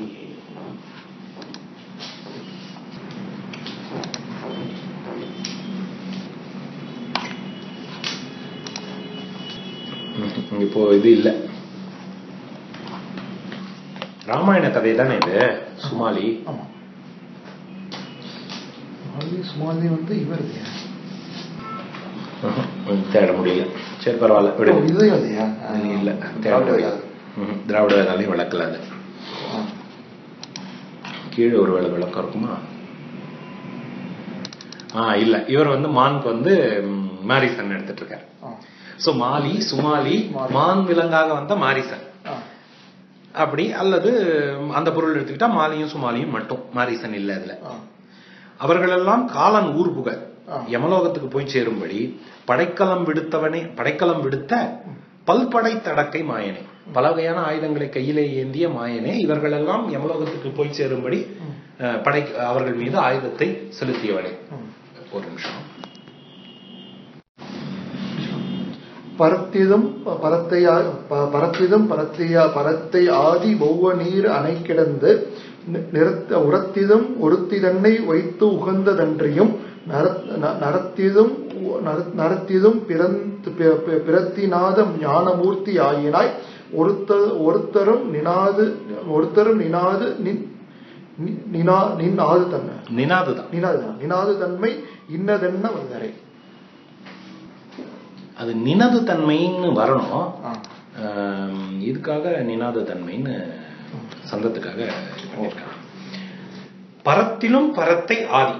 அப்படின்னா மேம்பட்ட பொருட்கள்னு இந்த உலகத்துல எதெல்லாம் சொல்றோமோ அதையெல்லாம் விட மேம்பட்டவனாக நீ இருக்கிறாய். பௌவ நீர் அணை கிடந்து கடல் நீரிலே பாம்பு படுக்கையிலே கிடந்து உரத்திலும் ஒருத்தி தன்னை வைத்து உகந்தது. மார்பிலே திருமகளை வைத்து மகிழ்கிறாய். அன்றியும் நரத்திலும் பிறத்தி. ஒரு பக்கம் இவ்வளவு உயர்வாக இருக்கிறாய். இன்னொரு பக்கத்திலே அற்பமான மனித பிறவிலே வந்து பிறக்கிறாய். நாத நாதனே ஞானமூர்த்தி ஆயினாய் ஞானமூர்த்தி ஆனவனே ஒருத்தரும் நினாது தன்மை இன்னதென்ன வல்லரை உன்னுடைய தன்மை இப்படிப்பட்டதுதான் சொல்லக்கூடியவர்கள் ஒருத்தரும் கிடையாது. அப்படிங்கிறார் வானகமும் மண்ணகமும் வெ- வெறுப்பு வெறுப்பு மேல் வெறுப்பு மேல் கடல்களும் போனக போனகம் செய்து ஆ- ஆளிலை த- துயின்ற புண்டரீகனே தேனகன் செய்- செய்த அது எப்படி படிக்கிறது தேனகம் செய் தேனகன் செய் தன் தன் தன்னரும். தன்னரும் மலர் துழாய் நன் மாதையாய் கூன் கூன் கம்பு க- கூன் கூ- கூனகம் புகத்தே புகத்து எறிந்த கொட்டவில்லை. புகத்து எரித்த எரிந்து எரித்ததா இருக்கு. கொற்றவில்லை அது சரி. இப்போ வானகமும் மண்ணகமும் வெப்பும் ஏழு கடல்களும் போனகம் செய்து. போனகம் வார்த்தை ஞாபகம் இருக்கா? சாப்பாடு. படிச்சிருக்கோம். கம்பரமேட்டில் பார்த்துருக்கோம். ஸோ வானகத்தையும் மண்ணகத்தையும் மலைகளையும் ஏழு கடல்களையும் ஒரு ஒரு வாயில எடுத்து போட்டு சாப்பிட்டுட்டு. ஆளிலை துயின்ற புண்டரீகனே ஆளிலையிலே ஒரு சின்ன பாலகன் வடிவத்திலே. துயில் கொண்ட புண்டரீகனே. தேன் தேனகம் செய். தேனகம் செய் தேன் அகம் செய் ஆ,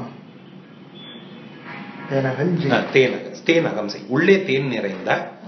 தன் குளிர்ச்சியான நறும் நறுமணம் நிறைந்த மலர் துழாய் நன் மாலையை துளசி மலர் மாலையை அணிந்தவனே. கூனகம் புகத்து எரித்த கொற்றவில்லி அல்லையே. கூன். ம். ஆ, கூன் அகம் அப்படிங்கறத எப்படி பிரிக்கணும்னா கூன் அகம் புகை அப்படி படிக்கணும். ஒரு வில்லாலை அடித்து. ஒருத்தியுடைய ஒரு கூனியுடைய கூன் வந்து உடலுக்குள்ளே போய் அடங்கும்படி கூன் அகம்புகை கூன் அகம்புக தெரித்த கொற்றவில்லி. வெற்றி வெற்றி கொண்ட வில்லை கொண்டவன் அல்லவா. அதாவது அவன் மந்திரை மந்திரை மேலே அதை அடித்த போது விளையாட்டுக்காக அடிக்கவில்லை. அந்த கூன் உள்ளே போய் அம- அமுங்கி விட வேண்டும் அவள் நிமிர்ந்து விட வேண்டும்ங்கிறதுக்காக அடித்தாய் அப்படிங்கிறாரு. காதனேமி ஆதனே கணக்கில்லாத கீர்த்தியாய் ஞானமேழும் உண்டு பண்டோர் வாதனாய பண்பனே வேதை வேத வில்- வில்வதைத்த வில் சினத்த வீர நின் பாதராய பக்த சித்த முக்தி செய்யும் மூர்த்தியே. அருமையா இருக்கு இந்த பாட்டம். காலநேமி காலனே. ஆ. காலநேமி அப்படிங்கிற அசுரனுக்கு யமனானவனே. கணக்கில்லாத கீர்த்தியாய் கணக்கில்லாத எண்ணி சொல்ல முடியாத அளவுக்கு சிறப்புகளை கொண்டவனே. ஞாலமேழும் உண்டு பண்டு ஓர் பாலனாய பண்பனே. அன்றைக்கு ஏழு உலகங்களையும் உண்டு ஒரு பாலனாக வடிவம் எடுத்து கிடந்த தன்மையை கொண்டவனே. காதநேமிங்கிறது அசுரனா? ஆமா. காதநேமிங்கிறது எவனுக்கு உரியது ஏன் காலநேமின்னு ஒரு அசுரன் இருக்கான் போல இருக்கு.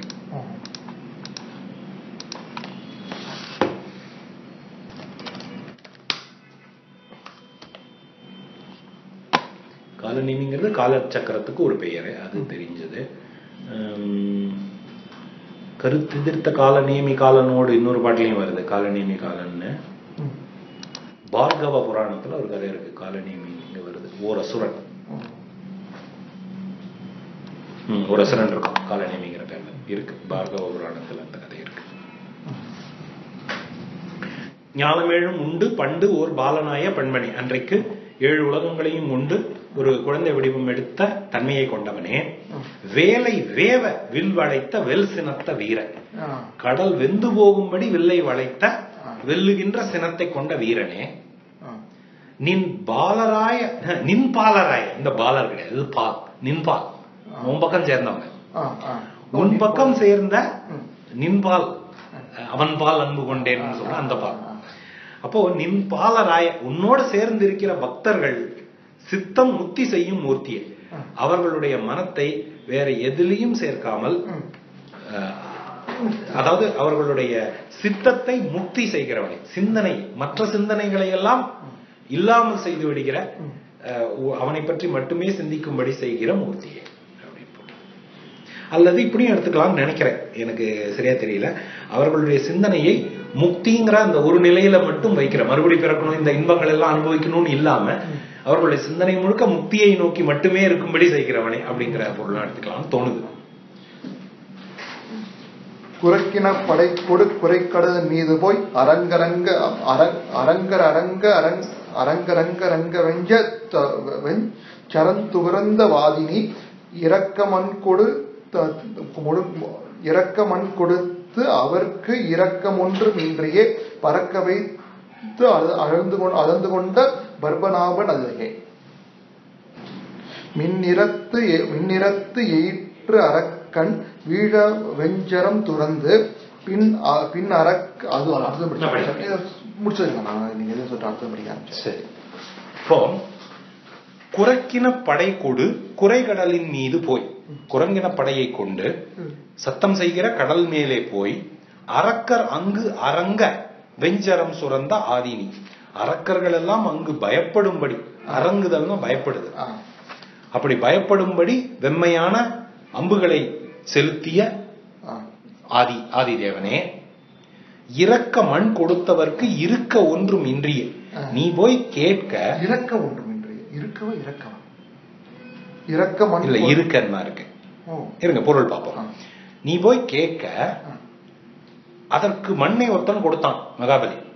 அவனுக்கு இருக்க ஒன்றும் இல்லையே. அவனுக்கு இருக்கிறதுக்கு ஒரு துளி இடம் கூட பாக்கி இல்லாதபடி பறக்க வைத்து அளந்து கொண்ட பற்பனாபன் அல்ல இருக்கதான் கரெக்டா இது என்ன அவன் அவனுக்கு இரக்கம் ஒன்றும் இது அப்படின்னா இரக்கம் அவனுக்கு அவன் மேல் இரக்கம் ஒன்றும் இது அப்படின்னு வச்சுக்காங்க அவன் மேல இரக்கம் இல்லாம? அப்ப இறக்கம் ஒன்றும்னு ஆ, இருக்கணும் அப்படிதான். இரக்கம் ஒன்றும் இன்றியே. அப்படி இருக்கா? இப்ப இறக்க ஒன்றும் இங்க இருக்கு. அப்போ இந்த பொருள் இருக்க ஒன்றும்னு இருக்கு. அப்போ அப்படி அப்படி பரவ அப்படி பறக்க வைத்து அளந்து கொண்ட பற்பனாபன் நீ அல்லவா? தாமரை போன்ற திருவடிகளை கொண்டவன் அல்லவா நீ. மின் மின்னிறத்து எயிற்று அரக்க அரக்கன் வீழ வெஞ்சு வீழ வெஞ்சரம் துறந்து பின் அ- பின் அ- பின் அவர் அவர் அருள் புரிந்த பின் அவர்க்கு அருள் புரிந்த புரிந்து அரசளித்த பெற்றியோய் நன் நன்னிறத்து ஒ- ஒரின் சொல் நன்னிறத்தோரின் சொ- சொல்லோ சொல்லோழி பின் பின்னை கேள்வ மண்ணுசீர் பொன்னிறத்த வண்ணனாய புண்டரீகனதையே. அது மூணா ரெண்டாவது வரி மூணாவது வரி வந்து தப்பா படிச்சுட்டு நினைக்கிறேன். மின் நிறத்து எயிற்று அரக்கன். மின்னல் போன்ற ஒளி வீசுகிற பற்களை கொண்ட அரக்கனான ராவணன் வீழும்படி வெஞ்சரம் சுரந்து. வெம்மையான வெஞ்சரம் துறந்து வெம்மையான அம்புகளை செலுத்தி பின் அவருக்கு அருள் புரிந்து அரசளித்த பெற்றியர். ம். பின் அவருக்கு இல்ல பின்னவருக்கு, தம்பி. பின்னவருக்கு அவனுடைய தம்பிக்கு அருள் புரிந்து. அவனுக்கு அரசை அளித்த பெற்றியோர் இது வந்து இந்த பின்னவருக்கு பின் அவருக்குன்னு பொருள் எடுத்துக்கிட்டா சிவன் இதுவாயிடும் அதாவது சிவனை பத்தின பல பாடல்கள்ல வரும். ராவணனை முதல்ல மலையை தூக்கின ராவணனை விரலால நசுக்கி பிறகு அவன் சாமகானம் பாடின உடனே அவனுக்கு அருள் செய்தவனேன்னு பல பாட்டுல வரும். பல பாடல்கள்ல வரும். தேவாரத்துல பல பாடல்கள்ல ராவணனை முதல்ல நசுக்கிட்டு அப்புறம் அவனுக்கு அருள் செய்தவனே. அவனுக்கு அந்த வில் அந்த வாழ் கொடுப்பாரு. சந்திரஹாசம் சந்திரஹாசம். அந்த வாளை கொடுத்தவனே. அப்படின்லாம் வரும். சிவனை பத்தின பல பாடல்கள்ல முதல்ல ராவணனை போட்டு கஷ்டப்படுத்திட்டு பின்னாடி அவனுக்கு அருள் செய்தவனே. அந்த ஞாபகத்துல பின் அவருக்குன்னு படிச்சிட்டேன். இங்க வந்து என்ன பொருள்னா அந்த ராவணன் விழும்படி வெஞ்சரம் துறந்து விபீஷணனுக்கு அரசை அளித்த பெருமையை கொண்டவனே. ம். நன்னிறத்து ஓர் இன்சொல் ஏழை பின்னை கேள்வ நல்ல நிறம் கொண்ட.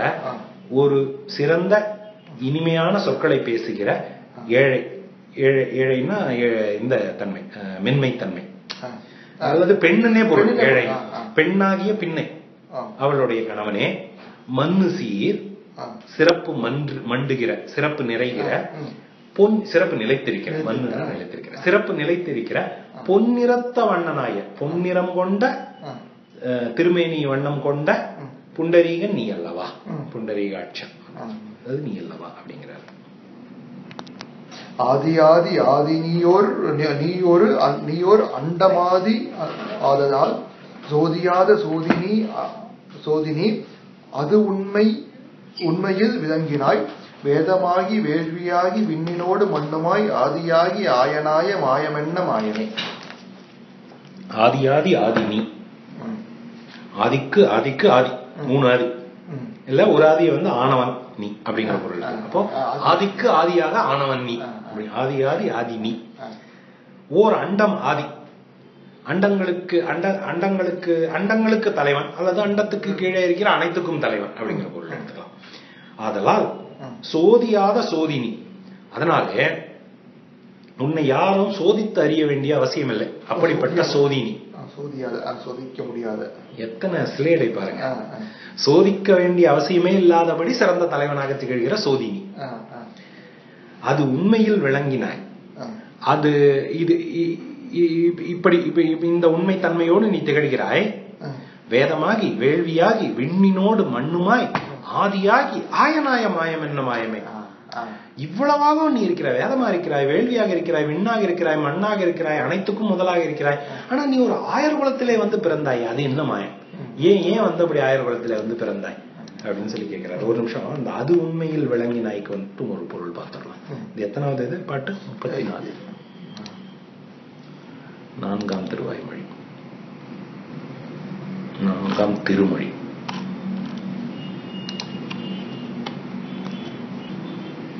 அந்த சோதியானது பிரமாண சித்தாமகையால் வேறொன்றில்லாரன்றிக்கு தானாகவே நீ விளங்குகிறாய்.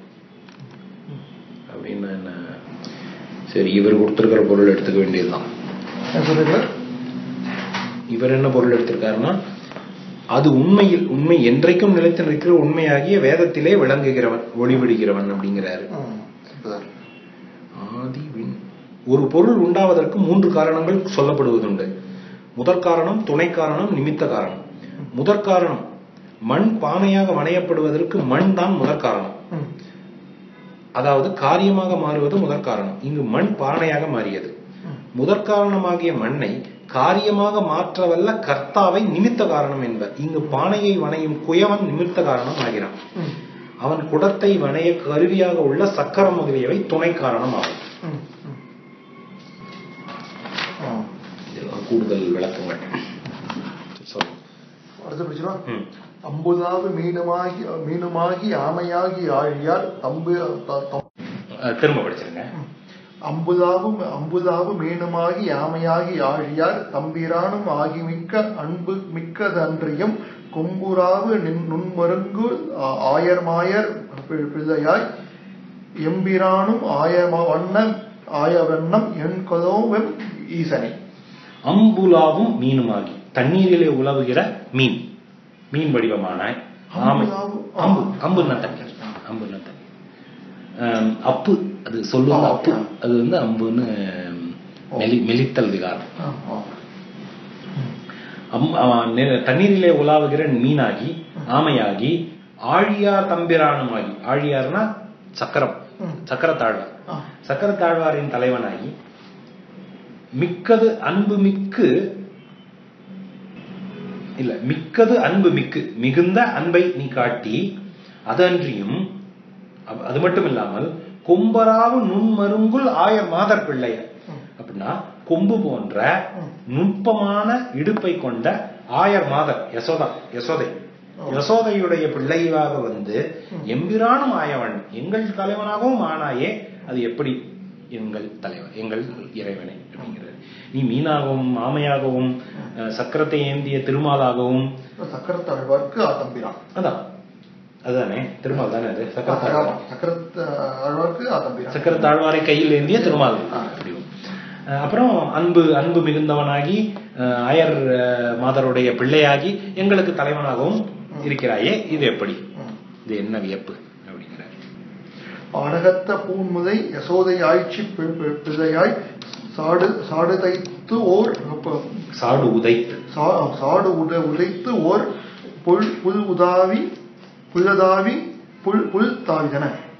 அது எப்படி படிக்கிறது சாடு உதை புல்லது ஆவி. புல்- புல்லது ஆவி க- கள்ளதாய மே பேய்மகள் வீட வீட வைத்த வையகொங்கை ஐயபாத ஐயபாதம் ஐயபால் அமுது செய்து ஆடக மாதவர் வாய் அமுதம் உண்டது என் கொள்வோம். மாதவர் இல்ல மாதர். மாதர் ஆடகத்த பூன்முலை அசோதை ஆய்ச்சி பிள்ளையாய் ஆடகம் அப்படின்னா பொன்.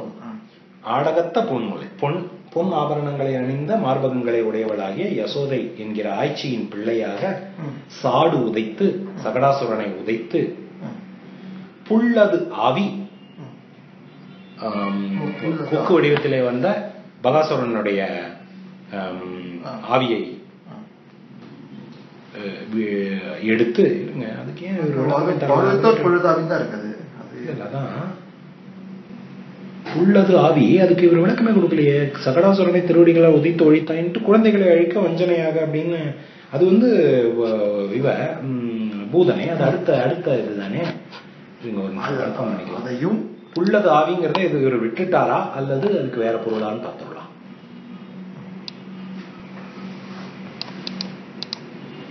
சிறு குழந்தைகளை அணுங்க பண்ணுவது ஒரு பறவையாக வடிவு கொண்டு வந்த ருத்ரிம மாதாவாகிய பூதனை உள்ளது. வ- ஒரு நிமிஷம் பார்த்துடலாம்.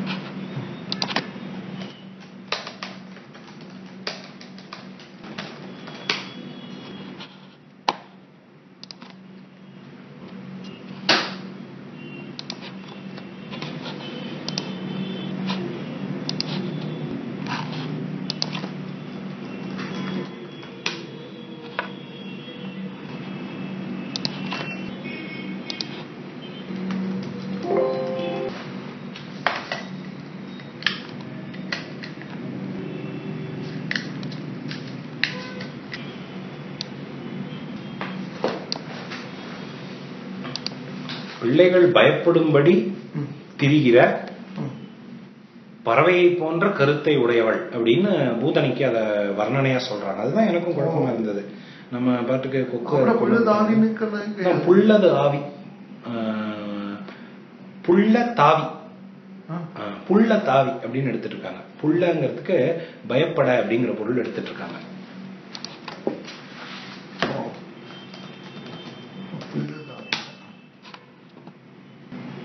புல்லுதல்னா கொத்துதலம் கொத்துதல் கொத்துகிற பறவை போன்ற தன்மையை கொண்டு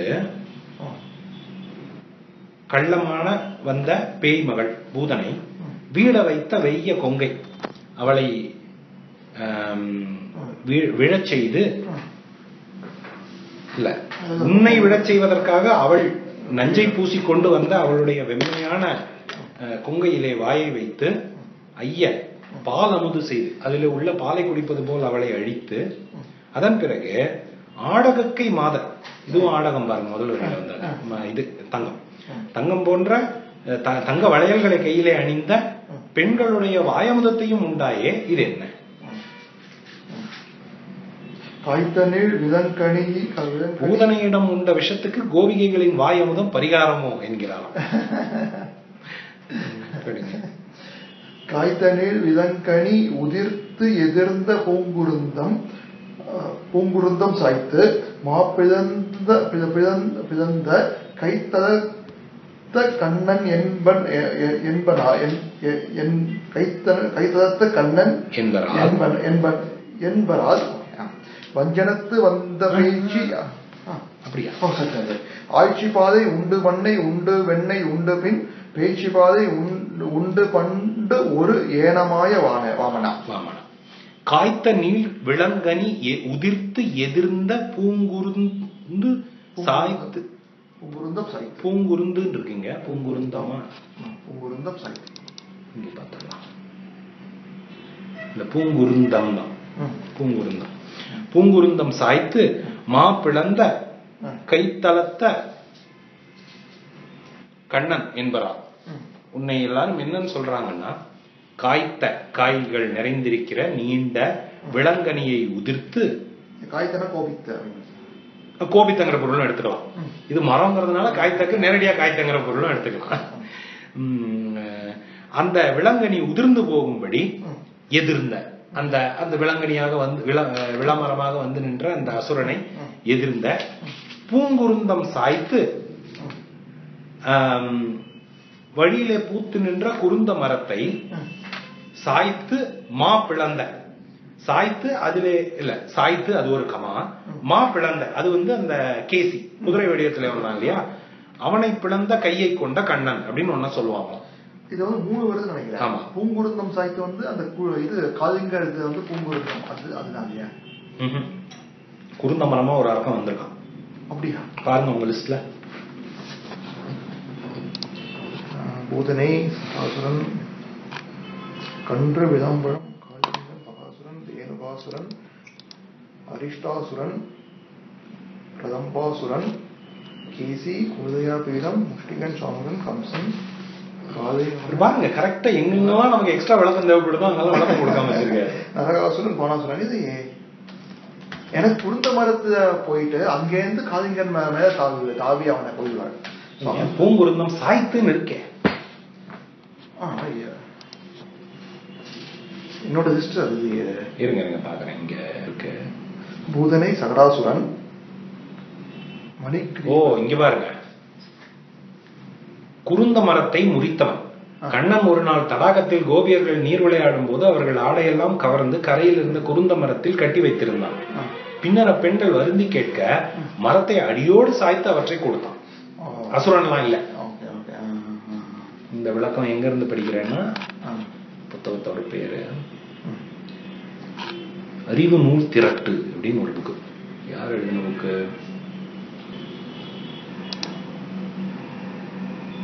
யார் எழுதின புக்குன்னு தெரியல அறிவு நூல் திரட்டுங்கிற புக்ல இந்த விளக்கம் இருக்கு. நல்லா இருக்கு அழகா இருக்கு குருந்த மரத்தை அப்படியே வளைச்சு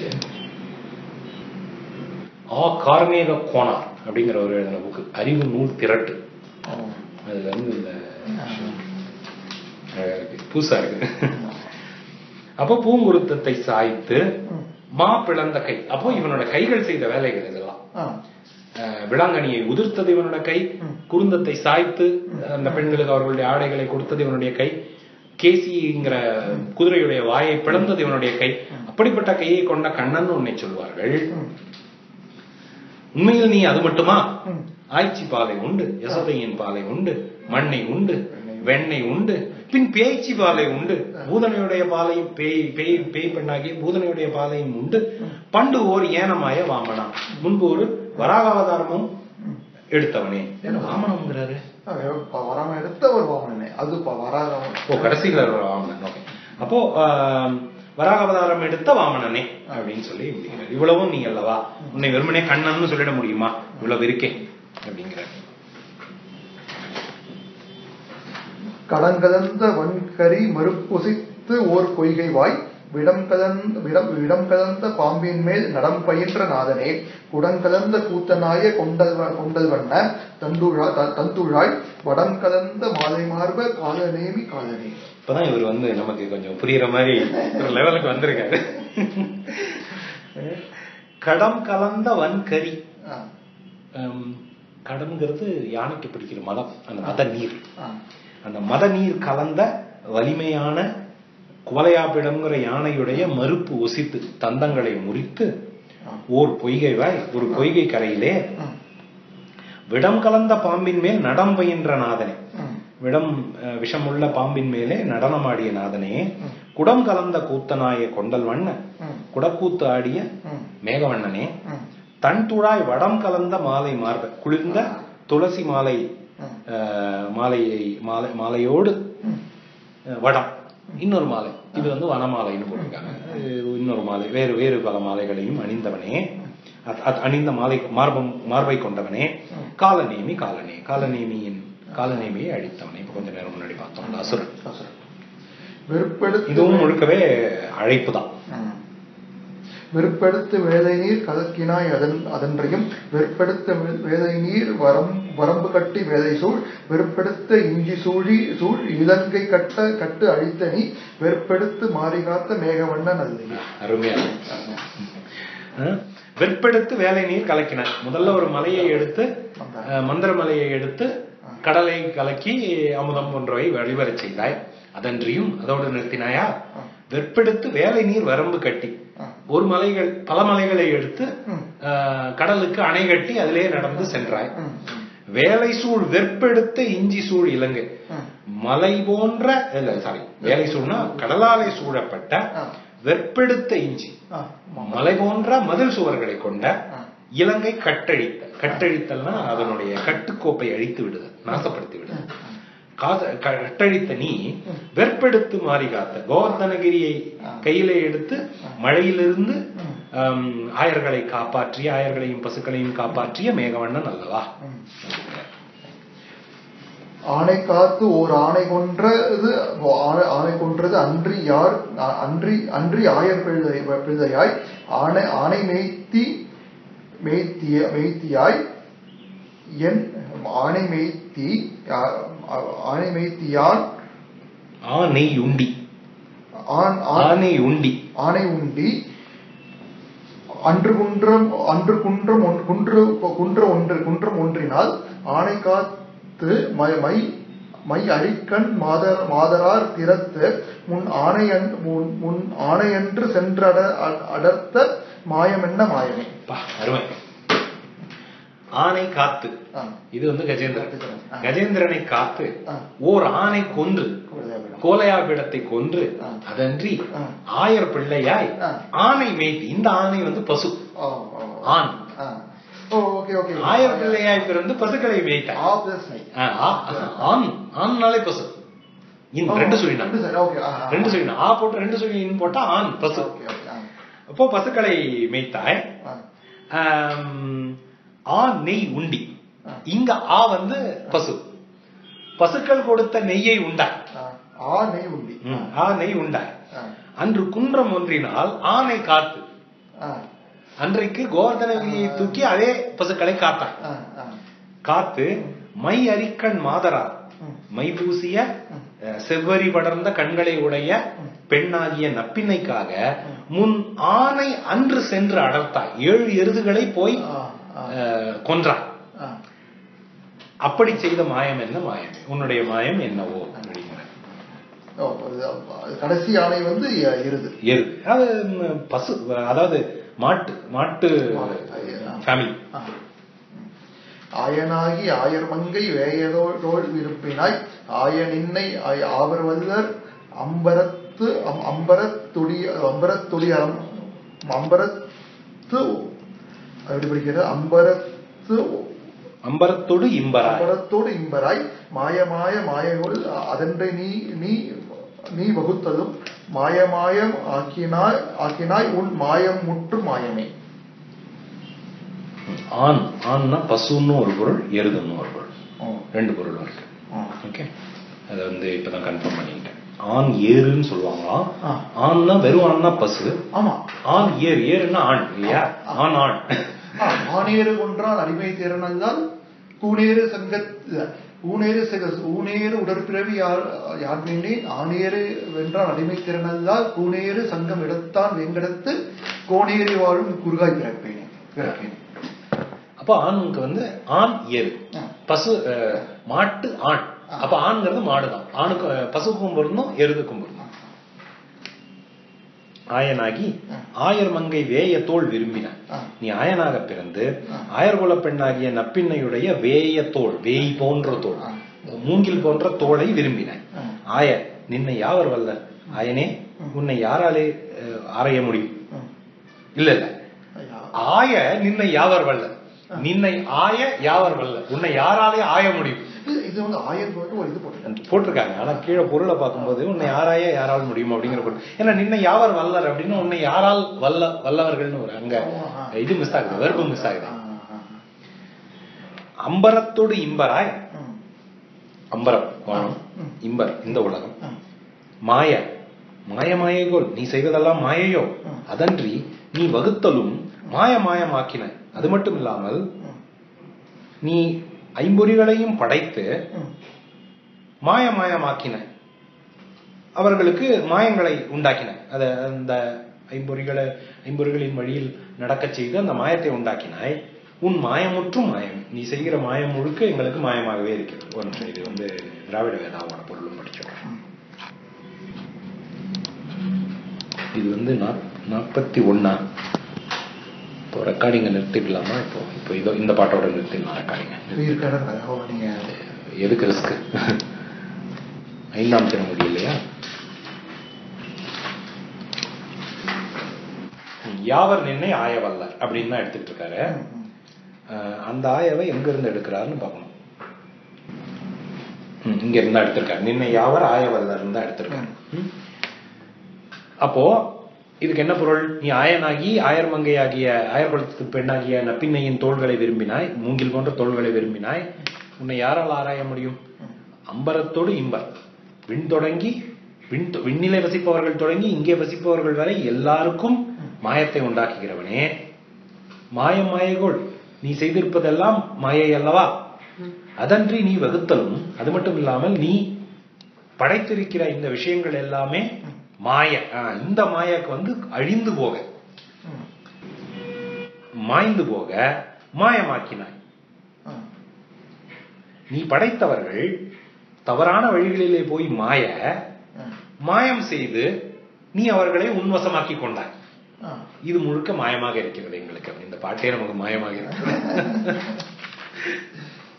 வேரிசைந்த சக்கரவே ஓ, இது படிங்க இன்னொன்னு படிச்சு வேரிசைந்த சக்கரவேணி நீரணிந்த புன்சடை ஈரதிங்கள் வைத்தவன் கை வைத்த வைத்தவன் கை வைத்தவன் கால் வைத்தவன் கபால். கபால் மிசை.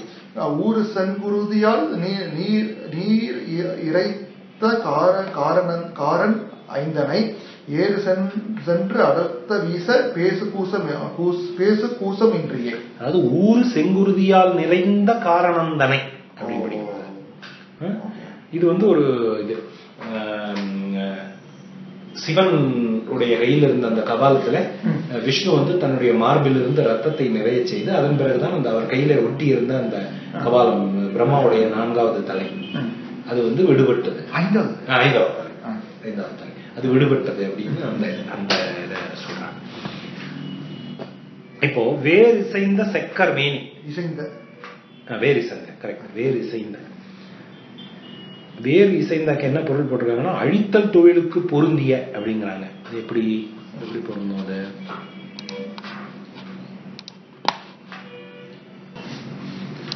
இசைந்தான்னா பொருந்தியன்னு பொருள். வேறு இசைந்தாங்கும் போது வேறாக சம்ஹார தொழிலுக்கு தகுதியுடைய சிவந்த உடல் அப்படிங்கிறாங்க. அப்போ அழித்தல் தொழிலுக்கு த- தகுதியுடைய சிவந்த மேனியையும் நீரணிந்த புன்சடை. திருநீர் அணிந்தவன் புன்சடை. சிறிய கொத்துக்களாக சடையை உடையவன் கீறு திங்கள் நிலா கீற்று. ஒரு ஒரு கீத்து. கீத்து போடுறோம். தேங்காயை கீத்து போடுறதுன்னு சொல்லணும் அந்த கீர் அப்படி ஒரு அதை வந்து அணிந்து கொண்டிருக்கிற அல்லது கீறி எடுத்த சந்திரனை அணிந்து கொண்டிருக்கிற. சிவனுடைய கையிலே. வைத்து அவன் கபால் மிசை அவன் கையிலே வைத்திருக்கிற அந்த கபாலத்திலே அவனுடைய கையை விட்டு நீங்காமல் நினைத்து நின்ற அந்த கபாலத்திலே ஊறு செங்குருதியால் நிறைந்த நிறைந்த. நிறைத்த. உன்னுடைய உடலிலிருந்து ஊறுகிற சிவந்த ரத்தத்தை அங்கே நிறைத்த காரணம் தானே? நிறைத்தது ஏன்? ஏறு சென்று அடர்ந்த ஈச. அடர்த்த. அதுவும் தப்பா இருக்கு. ஏழு காளைகளை நப்பின்னைக்காக சென்று வென்றவனே. பேசு கூசமின்றியே என்ன எந்த கூச்சமும் இல்லாமல் இல்ல எந்த கூச்சமும் இல்லாமல் ஏழு எருதுகளை சென்று அடர்ந்த அடர்ந்தவனே அடர்த்தவனே. இதை பற்றி பேசு. அந்த காரணத்தை எங்களிடம் சொல் இதோட இதோட ரெக்கார்டிங் நிறுத்திடலாம் சரி வெஞ்சினத்த வேழமென் வேழமென் மறுப்புசித்து உருத்தமா கஞ்சனை கஞ்சனை கடிந்து மண்ண மண் அளந்து கொண்ட வெஞ்- வஞ்சனத்து வந்த பேச்சு ஆவி பேச்சு ஆவி பா- பா- ஆவி பால் வாங்கினாய் அஞ்சனத்த வண்டனாய ஆதிதேவன். வெண் சினத்த வேழ வெண் மறுப்பு ஒசித்து ம். வெண்மையான சினத்தை கொண்ட. யானையின் வெண்மையான அது வெண்மை இது வெண்மை வெண்மையான தந்தங்களை ஒடித்து. அது ஒரு கமா அது ஒரு ஸ்டேட்மெண்ட் ம். உருத்த மா கஞ்சனை கடிந்து கோபம் கொண்ட. பெரிய கம்சனை கோபித்து. மண் அளந்து கொண்ட மகாபலியிடம் வந்து மண்ணை அளந்து கொண்டவனே காலனே உருத்தமான எடுத்துட்டோம்னாக்க கோபித்த அந்த குதிரை வழியில் அந்த கேசி கமா கஞ்சனை கடிந்த ஓ அப்படியா அப்படி அப்படிதான் போடுறேன் உருத்தமா இல்ல இங்க அப்படி இல்ல இங்க வந்து கோபமும் அப்படியே எடுத்துக்கலாம். உருத்தமா கமா கஞ்சனை கடிந்து அப்படின்னு எடுத்துக்கலாம். எடுத்துக்கலாம் எடுத்துக்கலாம். ஒண்ணும் இது கிடையாது. இல்ல இந்த மண் அளந்து கொண்ட காலனே அப்படின்னா இவர்களுக்கெல்லாம் காலனானவனேன்னு பொருளா? மண் மண் கொண்டனக்க இல்ல அது மண்ணளந்து கொண்டாக்க பொருள் புரியுது. காலனே அப்படின்னு ஏன் சொல்றாரு? இந்த இடத்துல. காலனே. அதுதான் அதுதான் அதுதான் உறுதிப்படுத்திக்க நினைக்கிறேன். காலனே கால் கொண்டவனே. ஓ. மண்ணை அளந்த காலை கொண்டவனே. அட. இத இத விட்டுட்டாங்க மண்களை அளந்த மண்ணை அளந்த காலை கொண்டவனே. கையனே மாதிரி காலனே? வஞ்சனத்து வந்த பேச்சு வஞ்சனையோடு வந்த பேச்சு பூதனையுடைய ஆவி பாலுள் வாங்கின. அவள் பாலை குடிப்பது போல அவளுடைய ஆவியை வாங்கி விட்டாய் ஆ. அஞ்சனத்த வண்ணனே கருத்த திருமேனி கொண்டவனே ஆதிதேவன் அல்லையே. நீ கருத்த திருமேனி கொண்டவனாகிய ஆதிதேவன் நீ அல்லவா. அப்படிங்கிறார். பாலின் நேர்மை செம்பொன் நேர்மை பசியின் பசியின் பசும்புறம். பாசி பாசி. பாசியின் பசும்புறம். போதும் போதும் நேர்மை பொறுப்புடை பொறுப்புடைத்த பொற்புடை தடத்து. பொறுப்புடை தடத்து வண்டு. வண்டு விண்டுதாம் நீத நீர்மை என்று என்று இவை நிறைந்த காலம் நான்குமாய் மாதின் நீர்மை வையக வையகம் மறைத்ததென்ன நீர்மையே? பாலின் நீர்மை செம்பொன் நீர்மை. பாசியின் பசும்புறம் போலும் நீர்மை பொற்புடை தடத்து வண்டு விண்டுலாம் நீல நீர்மை. அதாவது எம்பெருமான் நான்கு யுகங்களிலும் நான்கு வண்ணங்களை தனக்கு அமைத்துக் கொள்கிறான். கிருத யுகத்தில் இருப்பவர்கள் சத்துவ குணம் படைத்தவர்கள். எனவே அவர்கள் விரும்பும் பால் போன்ற வெண்மை நிறம். முதல் பாலின் நீர்மை. அடுத்து திரேதா யுகத்தில் சிவந்த பொன்னின் நிறம். அது செம்பொன் நீர்மை. ஆ? துவாரப யுகத்தில் பாசியினுடைய பசும் புறம் போன்ற பசுமை நிறத்தை ஏற்கிறாங்க. அதுதான் பாசியின் பசும்புறம் போலும் நீர்மை. மூணாவது வந்து துவாபர யுகம். நாலாவது கலியுகம். கலியுகத்திலே அழகிய தடாகத்தில் உள்ள வண்டுகள் நெருங்க படிந்து தேனை உண்டு அதனால் ஏற்பட்ட மகிழ்ச்சியினால் சிறகு விரித்து உலாவுகிற நீல நிறம் ஓ அதுதான் பஸ் பொற்புடை தடத்து. அழகான பொற்புன்னா. அழகான தடம் நீர்த்தடம். நீர்நிலையிலே வண்டு விண்டு உலா வண்டுகள் அங்குமிங்கும் உலாவுகிற நீல நீர். அந்த நீல. நீல நிறம். அதை ஏற்கிறார் என்று இவை நிறைந்த காலம் நான்கு இப்படி இந்த நான்கு காலங்களுமாக மாலின் நீர்மை வையகம் மறைத்தது என்ன நீர்மையோ? இப்படி இந்த நான்கு யுகத்திலும் இந்த எம்பெருமானுடைய இந்த தன்மையை வையகம் மறைத்தது என்ன நீர்மையோ? இந்த உலகத்தில் உள்ளவர்கள் அறியவில்லையே அது ஏன் இவன் வந்து நான்கு வித நான்கு நான்கு காலங்களிலும் நான்கு விதமான தன்மைகளை எடுத்தாலும் அந்தந்த காலத்து மக்கள் அதை அறியவில்லை. அவர் பாலின் நீர்மை கொண்டபோது கிருதயுகத்தில் இருந்தவர்கள் அதை அறியவில்லை. சிவந்த பொன் நிறத்தை எடுத்தபோது திரேதாயுகத்தில் இருந்தவர்கள் அறிவிக்க இதுக்கு என்ன அர்த்தம்னா எத்தனை காலம் வந்தாலும் அவர் எத்தனை விதமாக வந்தாலும் மனிதர்களால் அவரை அடையவே முடியாது அப்படிங்கிற அந்த அந்தந்த காலத்திலே உள்ளவர்களால் அவரை அறிய முடியாது. இந்த நாலு நான்கு யுகங்கள் நான்கு நிறம் அப்படிங்கிறது இப்பதான் ஃபர்ஸ்ட் ஆமா பார்க்கலாம் நான் இப்பதான் முதல் தடவை கேட்கிறேன். கேள்விப்பட்டதில்லை. ஆனா இதே போல ஒண்ணு சிவனுக்கு சொல்லுவாங்க. திருவண்ணாமலை வந்து ஒவ்வொரு யுகத்திலும் ஒவ்வொரு மலையாக இருந்தது. ஆமா இரும்பு மலை இரும்பு மலை மலை. ஆமா, அப்படி ஒவ்வொரு யுகத்திலும் ஒவ்வொரு மலையாக இருந்தது. இப்போ நாம் பார்க்கக்கூடிய இந்த மலையாக இருக்கிறது அப்படிங்கிற ஒரு கலியுகத்திலே இந்த தோற்றம் அப்படிங்கிற மாதிரி அஹ், திருவண்ணாமலைக்கு ஒன்று ஆமா, அக்னி மலை என்ன பார்த்ததுன்னா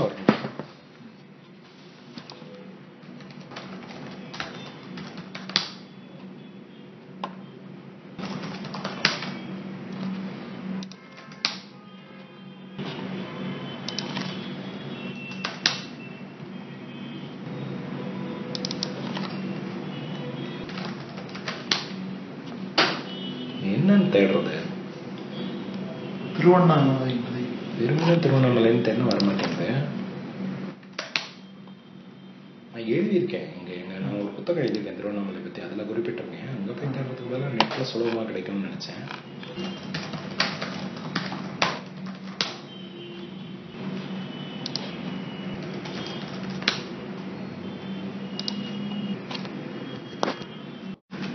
கிருதாயுகத்தில் இது ஒரு அக்னிமலையாக இருந்தது. ம். திரேதாயுகத்தில் மாணிக்க மலையானது. துவாபர யுகத்தில் தாமிர மலையாகவும் தங்க மலையாகவும் ஒளிர்ந்தது. இப்போது கலியுகத்தில் ஞானியர்க்கு மரகத மலையாகவும் மற்றவர்களுக்கு கல் மலையாகவும் தோன்றுகிறது. ஞானியருக்கு மரகதம் ஞானியருக்கு மரகத மலையாகவும் மற்றவர்களுக்கு கல்முலையாகவும் தோன்றுகிறது. இது வந்து திருவண்ணாமலைக்கு சொல்லுவாங்க. படி. மண்ணுதாய்வல் விண்ணுதாய்வல் மண்ணுமேல் மண் மண்ணுதை மயங்கி நின்று எண்ணும் என்ன எண்ணும் எண் என் அகப்படாய்வல் எண்ணும் ஆயை இந்தமர் கண்ணுதாய்வல் சேயைவல் அ- அனந்தன் மேல் கிடந்த வெம் புண் வெம் புண் புண்ணியா புனந்துழாய் புன- புனந்துழாய் அதன் அதன் அதன்கள் அம் அதங்கதம் புனிதனே மண்ணுலாய்கொள் விண்ணுலாய்கொள் மண்ணுளே மயங்கி நின்று எண்ணும் எண்ணகப்படாய்கொள் என்ன மாயை? நீ மண்ணிலே இருக்கிறாயா? அல்லது விண்ணிலே இருக்கிறாயா? மண்ணுளே மயங்கி நின்று எண்ணும் எண் அகப்படா. இந்த மண்ணிலே மயங்கி நிற்கிற பக்தர்களுடைய எண்ணத்திலே அகப்பட மாட்டாயா. அதான் மண்ணுளே மயங்கி நின்று எண்ணும் எண் அகப்படா. எண்ணும் எண்ணத்திலே அகப்பட மாட்டாயா? அப்படிங்கிறாரு. என்ன மாயை? இது என்ன மாயை? நின் தமர் கண்ணுளாய்கொள் உன்னுடைய பக்தர்களுடைய கண்ணில் இருக்கிறாயா? சேயைகொள் சேயைன்னா சேய்மை தூரத்தில் இருக்கிறது. பகைவர்களுக்கு தூரத்தில் இருக்கிறாயா? ம், முதல்ல இது வந்து தமர் கண்ணுங்கிறது இந்த கண்ணு இல்ல. அஹ், பக்கத்துல. தமர்கள். அவர்கள் பக்கத்துல. இருக்கிறாயா. பகைவர்களுக்கு தூரத்தில் இருக்கிறாயா? இதெல்லாம் கேள்வியாவும் கேட்கலாம் ஸ்டேட்மெண்டாவும் சொல்லலாம். அனந்தன் மேல் கிடந்த எம் புண்ணியா? ஆதிசேஷன் மீது பள்ளி கொண்ட எங்கள் புண்ணியனே புனம் துழாய். புனம்னா காடு. புனந்துழாய் அதான் காட்டு காட்டு துளசி. காட்டு காட்டிலே கிடைத்த துளசி. ம், புனந்துழாய் அலங்கல் அம் புனிதனே. புன புனந்துழாய் காட்டு காட்டு துளசியை மாலையாக்கி அணிந்து கொண்ட அழகிய புனிதனே. நீ மண்ணில் இருக்கிறாயா வெண்ணில் இருக்கிறாயா. இது என்ன என்ன மாயம்? அப்படின்னு சொல்லி கேட்கிறாரு. தோடு பெற்ற தந்துழாயல் தந்துழாய் அலங்கதோடு சென்னியாய் கோடு பற்றி ஆழியேந்தி அம் சிறை போல் ஊர்தியால் நாடு பெற்ற நன்மை நன்ன நன்- நன் நன்னமில்ல ஏனும் நாயினே வீடு பெற்றி வீடு பெற்றி இறப்பொடு பிறப்பருக்கும் ஆசதை ஆசுதை. ஒரு நிமிஷம். இந்த புனந்துழாய்க்கு சரியான இதை பார்த்தோம்னா புனத்துழாய்னா காட்டு. புனம்னா நல்லங்கிற பொருள் இப்ப புனனா வன வனத்துழாய்க்கு தமிழ் வந்து புறத்துழாய் இல்லையா? அப்படிதானே இல்லையா? எது? அப்படிதான் சொல்றேன் என்ன நினைச்சிட்டு இருந்தீங்க? வனத்துழாய்க்கு வந்து தமிழ் வந்து புறத்துழாய் நான் அப்படிதான் நினைச்சேன். ஆனா ஈத்து வரணும் இங்க ஈந்து இல்ல இருக்கு. புனந்துழாய் புனந்துழாய் அப்போ வந்து புனம்க்கு அந்த காடுங்கிற பொருள் வராது. புனத்துழாய் அப்படின்னாதான். அந்த பொருள் வரும். இப்ப புனம்க்கு தமிழ்ல என்னென்ன பொருள் அப்படின்னு பார்த்தா மலை அது ஒரு பொருள். வேற அவ்வளவுதான். புனம்னா புனம்னா காடு தோட்டம். அந்த பொருள். புனம்னா அழகுன்னு ஒரு பொருள் அவர் பயன்படுத்தியிருக்காரு. புனம் புனம் திணைப்புனம் அழகு. புனத்துக்கு அழகுன்னு ஒரு பொருள் இருக்கிற மாதிரி தெரியல. ஆனா பயன்படுத்தி இவர் இவர் இவருடைய விளக்கத்துல புனத்துக்கு அழகுன்னு பொருள் கொடுத்துருக்காரு. சரி நம்ம காட்டு துளசின்னு எடுத்துக்கலாம். காட்டில் கிடைத்த துளசின்னு எடுத்துக்கலாம். கொல்லை. தோட்டம் புனம்க்கு தோட்டம்னு ஒரு பொருள் தோட்டத்து தோட்டத்தில் எடுத்த துளசி. அப்படின்னு எடுத்துக்கலாம் அல்லது நல்ல அப்படிங்கிற அந்த பொருளையும் எடுத்துக்கலாம். படிச்சிட்டீங்களா தோடு பெற்ற. தோடு பெற்ற தன் துழாய் அலங்கலாடு சென்னியாய் தோடு. அப்படிங்கிறது வந்து பூவுடைய இதழ் பூவுடைய இதழ் இதழ் கொண்ட குளிர்ச்சியான துழாய் துளசி இதழ்கள் கொண்ட அந்த மாலை தலையிலே ஆடுகிறவனே கோடு பற்றி ஆழி ஏந்தி அம்சிறைப்புள் ஊர்தியாய். கோட்டை பற்றி கொண்டு இந்த கோடுக்கு என்ன பொருள்? ஆழி ஏந்திங்கிறது சக்கராயுதம் அது புரியுது. கூடுன்னா சங்கா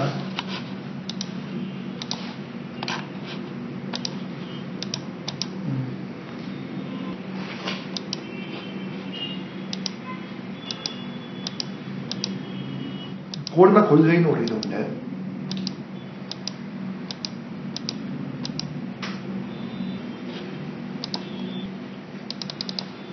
சங்கு. சங்கா. கோடுன்னா சங்கு. சோ ஒரு கையிலே சங்கையும் இன்னொரு கையிலே சக்கராயுதத்தையும் ஏந்தி கொண்டு அழகிய சிறகுகளை கொண்ட கருடன் மேலே ஊர்ந்து செல்கிறாய். நாடு பெற்ற நன்மை நன்னமில்லை எனினும் ம், இப்படி அப்படி அப்படி நீ கிளம்பி போன போது இந்த நாடு அதனால எப்பேற்பட்ட பல நன்மைகளை பெற்றது. அந்த அந்த நன்மையை நான் பெறவில்லை. அப்போ நான் இல்லை. நான் இப்பதான் பிறந்திருக்கேன். நீ அப்போ அப்படி கிளம்பி போன போது பெற்ற நன்மைகளை நான் பெறவில்லை. என்றாலும் நன்னமில்லை எண்ணினும் நன்முதல் நான் நெருங்க.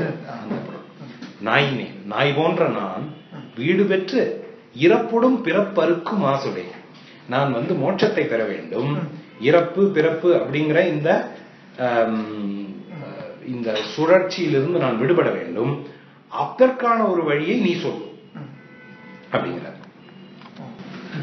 அதாவது உலகுக்கு என்னென்னவோ நன்மை கிடைச்சது அதெல்லாம் இருக்கட்டும் எனக்கு இந்த நன்மை வேண்டும் அப்படின்னு உரிமையோட கேட்கிறாரு காரோடு ஒத்த மேனி ந- மேனி ந- நங்கள் கண்- நங்கள் கண்ண விண்ணின் நாதனே நீர நீரடத்த ராவ நீர் நீர நீரட நீரிடத்த ரா- ராவனை என்பர் அன்றியும் ஒரு நீர் நீரிடத்து நீரெடுத்து அரா அணை கிடக்கு ஓகே ஓகே. நீர் நீரிடத்து நீர் நீரிடத்து அராவணை கிடத்தி என்பர் அன்றியும் ஓரிடத்தை அல்லை அல்லை இல்லை என்பர் ஆதலால் சேர்விடத்தை நாயினை தெரிந்து தெரி- தெரிந்து இறைஞ்சும் இறைஞ்சும் ஆசை இறைஞ்சு மாசம் காரோடு ஒத்த மேனி நங்கள் கண்ணன்.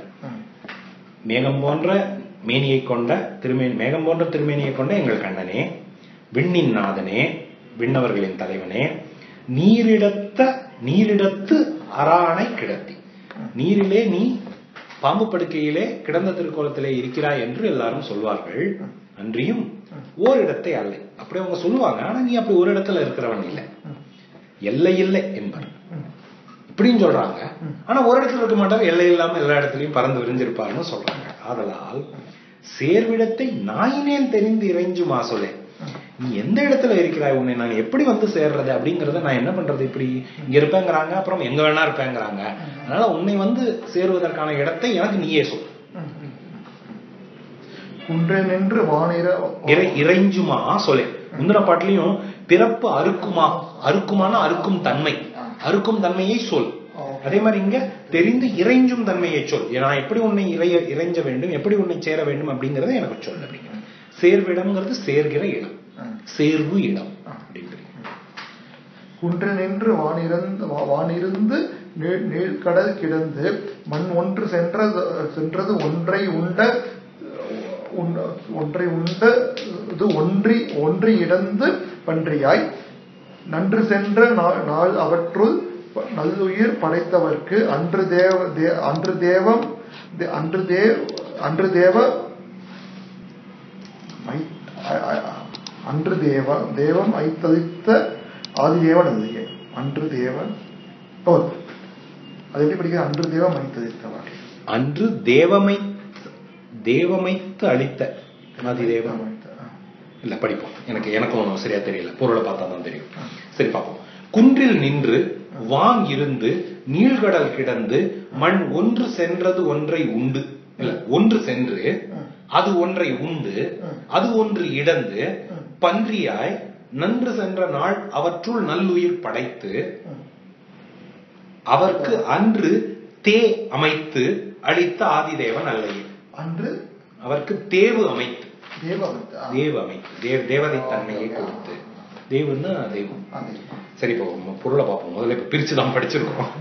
குன்றில் நின்று திருவேங்கடமலையிலே நின்ற திருக்கோலம் வான் இருந்து பரமபதத்திலே நிர- நிரந்தரமாக மன்னி நிரந்தரமாக தங்கி இருக்கிற கோலம் நீழ்கடல் கிடந்து பார்க்கடலிலே கிடந்த திருக்கோலம். மண் ஒன்று சென்று மண்ணை. இல்ல மண் ஒன்று சென்று அப்படிங்கறது வந்து பூ மண்ணை அளந்து அப்படிங்கிறாரு. ஒன்று சென்றுக்கு எப்படி அளந்துங்கிற பொருள் வருது?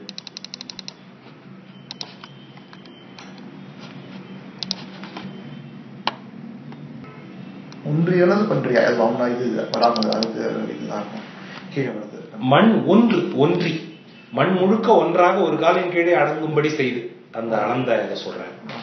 அப்படி செய்து அதை உண்டு. பிரளய காலத்தின் போது அதை உண்டு. அது ஒன்று இடந்து இது வந்து வரக அவதாரம் எடுத்து அதை மூழ்கி கிடந்த பூமியை குத்தி எடுத்து. ஒன்றை இல்ல இல்ல இடந்து பன்றியாய் பன்றியாய் இடந்து அப்படின்னு படிக்கணும்? அது ஒன்று பன்றியாய் இடந்து அப்புறம் நன்று சென்ற நாள் அவற்றுள் நல்லுயிர் படைப்பு அதுக்கப்புறம் ஒரு நல்ல நாள்ல. அங்கே நல்ல உயிர்களை படைத்து அவருக்கு அன்று தேவு அமைத்த அவர்களுக்கு ஏற்ற தெய்வங்களை அன்று அமைத்து தந்து. ஆதிதேவன் அல்லையே. அதாவது உன்னை தவிர மீதம் இருக்கிற தெய்வங்களை எல்லாம் படைத்து தந்தது நீதான். பூமியில மக்கள் மத்தியில சில பேர் சில தேவதைகளை வணங்குகிறார்கள். உண்மைதான். அந்த தேவதைகளை உருவாக்கி தந்தவனும் நீதான் அப்படிங்கிற ஒரு தன்மையை சொல்றேன் கொண்டை கொண்ட கோதை மீது தேனுதாவு ஊனியுன் உண்டை உண் உண்டை கொண் கொண்ட அரங்க அரங்க அரங்க ஓட்டி உ- ஒட்டி உள்மகிழ் மகிழ்ந்த நாதனூர். ந- நண்டை உண்டு நாரை பேர வா- வா- வாழை பாய நீதமே. அண்டை கொண்டு கெண்டை மேயும் மேயும் அந்த அந்தன் அந்த- நீர் அரங்கமே. அந்த நீர் அரங்கமே. எவ்வளவு இதுவா இருக்கு பாருங்க. கொண்டை கொண்ட கோதை மீது தேனுலாவு கூனிகும் உண்டை கொண்ட அரங்கம் ஓட்டி உள்மகிழ்ந்த நாதனூர். நண்டையுண்டு நாரை பேர வாழைப்பாய நீலமே. அண்டை கொண்டு கெண்டை மேயும் அந்த நீர் அரங்கமே. என்ன அருமையான சந்தம் இப்போ கொண்டை கொண்ட கோதை இது மந்திரை. கொண்டை கொண்ட கோதை மீது தேன் உலாவு கூனி. இல்ல இல்ல இந்த கோதை வந்து மாலை கூனி பின்னாடி வரா. நான் கோதையிலேயே பெண் அப்படின்னு எடுத்து மந்திரை அப்படின்னு வச்சுட்டேன். இல்ல கூனி பின்னாடி வரா. அப்போ கூனி தன்னுடைய தலையிலே கொண்டை மீது ஒரு மாலை வைத்திருக்கிறான். அந்த மாலை மேலே தேன் உலாவுகிறது. இங்க தேன்கிறது வண்டு. வண்டுகள் மொய்க்கின்றன. அப்படிப்பட்ட கூனியுடைய கூனை. உண்டை கொண்டு. அரங்க ஓட்டி அரங்கன்னா. மறைந்து போகும்படி பயப்படும்படி அந்த பொருள். ஒரு உண்டை மண் உண்டையாலே வில்லாலே அடித்து அது உள்ளே போய் அமுங்கி போகும்படி அரங்க ஓட்டி உள்மகிழ்ந்த நாதன். அப்படி மகிழ் அப்படி உள்ளே செய்ய போகச் செய்து தனக்குள் மகிழ்ந்து கொண்ட நாதன். இதுல பாருங்க. ஆக மந்தரை கூனியா இருந்திருக்கா. கையை கிட்ட பேசி ராமனை காட்டுக்கு போக செய்த போது அவ கூனி இல்ல. சின்ன வயசுல இருந்து கூன கூனா இருந்ததுனால அவளுக்கு கூனிங்கிற பேர் நிலைச்சிருச்சே தவிர அந்த நேரத்துல அவ கூனியா இல்லைங்கிற கருத்து இந்த இதுல வருது. ஆனா இது அவ்வளோ எந்த அளவுக்கு உண்மைன்னு தெரியல. நம்ம வர்ணனைகள் எல்லாம் பார்க்கணும். எனக்கு என்னவோ வர்ணனைகள்ல அவ அப்பவும் கூனோட இருந்த மாதிரி தான் எனக்கு ஞாபகம். சோ ராமன் அடித்தது விளையாட்டுக்காக இல்ல கூனை நிமிர்த்துவதற்காக அப்படிங்கிற அந்த பொருள். அந்த ஒரு பொருள் உண்டு. அந்த ஒரு பாட்டு உண்டு. அது அப்ப அவன் நிமிர்ந்துட்டாளா? கைகை கிட்ட பேசும்போது அவளோட வர்ணனைகள்ல எங்கேயுமே கூன் இல்லையா?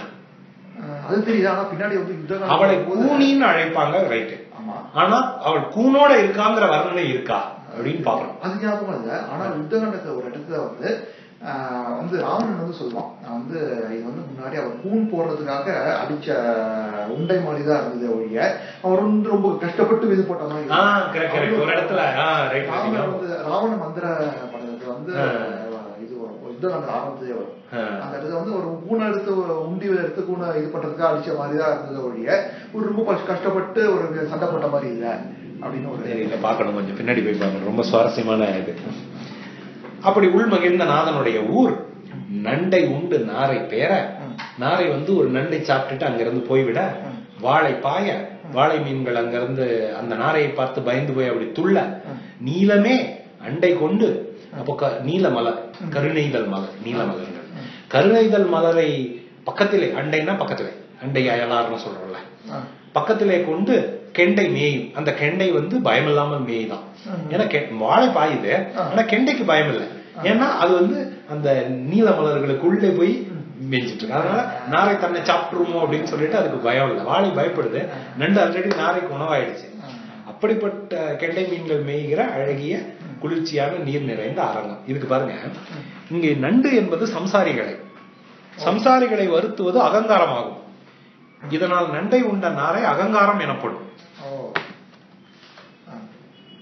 சம்சாரிகளை நண்டு வந்து நாரை அகங்காரம் வருத்துவது போல நண்டை நாரை சாப்பிட்டுருது.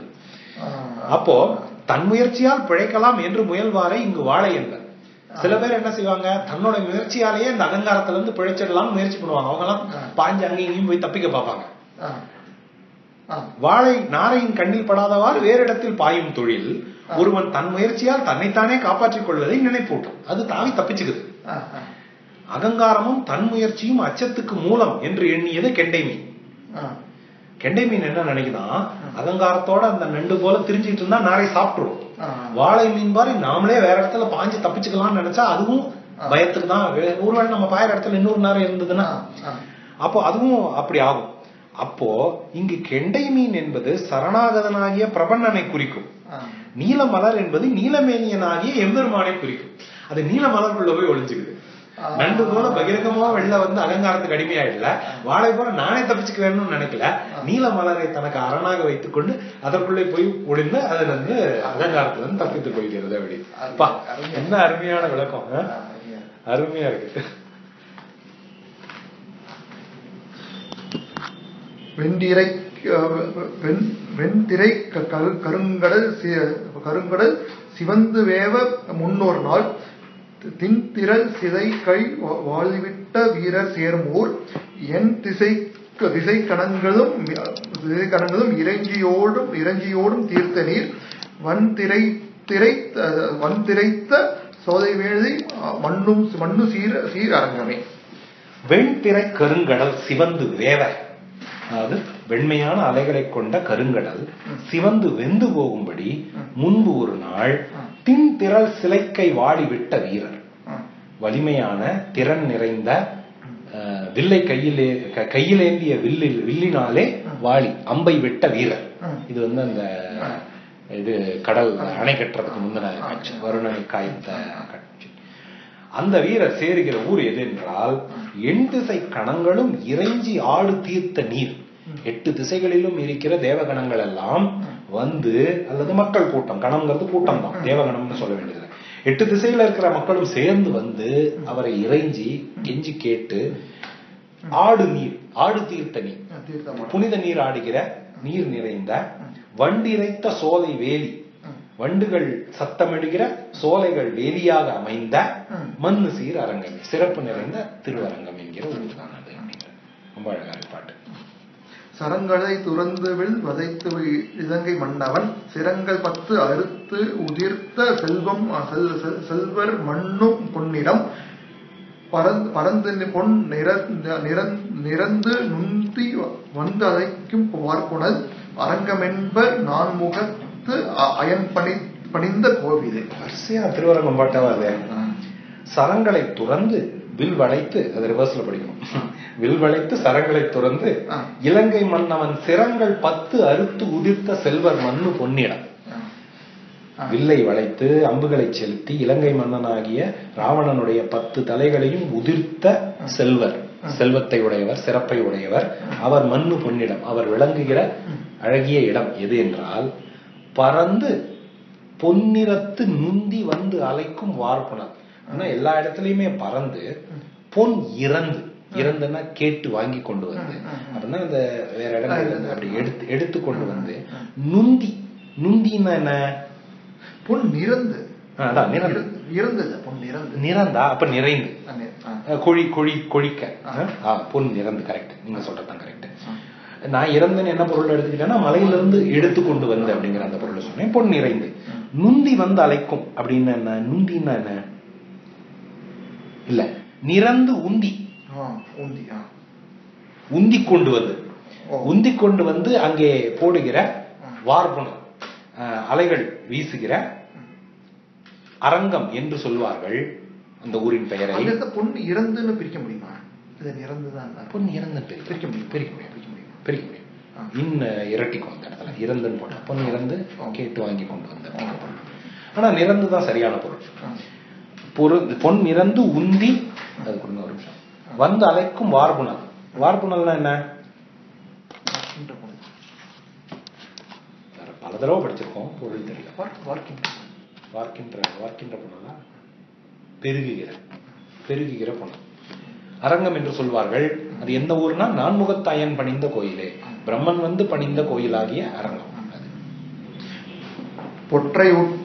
பொற்றையுட்- பொற்றையுற்ற முற்றல் யானை போர் எதிர்ந்து வந்ததை பற்றியுற்று மற்றதன் மற்றதன் மறுப்புசித்த பாகனூர் சிற்- சிற்றியிற்று முற்ற மூங்கில் மூன்- மூன்று தண்டர் ஒன்றினர்.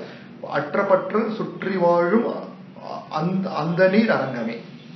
பொற்றை உற்ற முற்றல் யானை போர் எதிர்ந்து வந்ததை பற்றி உற்று மற்ற அதன் மறுப்புசித்த பாகன். பொற்றை உற்ற முற்றல் யானை பொற்றை அப்படின்னா கல் பாறை பொற்றைன்னா கல் பாறை. பொற்றை உற்ற கல் பாறையிலே நிற்கிற முற்றல் முற்றிய வலிமை முற்றிய யானை. போர் எதிர்ந்து வந்ததை போர் செய்வதற்காக வர இது ம். அதை பற்றி. அதை கையாலே பற்றி உற்று மற்று அதன் மறுப்பொசித்த வாகனம் அதன் தந்தங்களை எல்லாம் முறித்து எரிந்த தந்தத்தை உரிமைதான். அப்படி எரிந்த பாகன் ஊர் கண்ணன் கண்ணனுடைய ஊர் எது என்றால் எனக்கு உற்று மற்றுன்னா உற்றுக்கு என்ன பொருள் இந்த இடத்துல. இது பாகனூர்னா பாகனூர்னா பாகன் யானை பாகன் உள்ள ஊர் அப்படிங்கிற மாதிரி அர்த்தமா? அப்படிதான் நான் எடுத்துக்கிறேன் வேற பொருள் இருக்கான்னு பார்க்கலாம். இப்போ இல்லை. பாகன்னாக்க அது அடக்கி ஆடுவர் அந்த மாதிரி அர்த்தமா? ஆமா பாகன் தான். அர்த்தம் அடுத்த பாட்டு முடிவர் சுத்தம் மீனிங்கே இல்லை மீனிங்கே இல்லை உற்றுக்கு. இருங்க நாம பார்த்துருவோம் டிக்ஷனரியில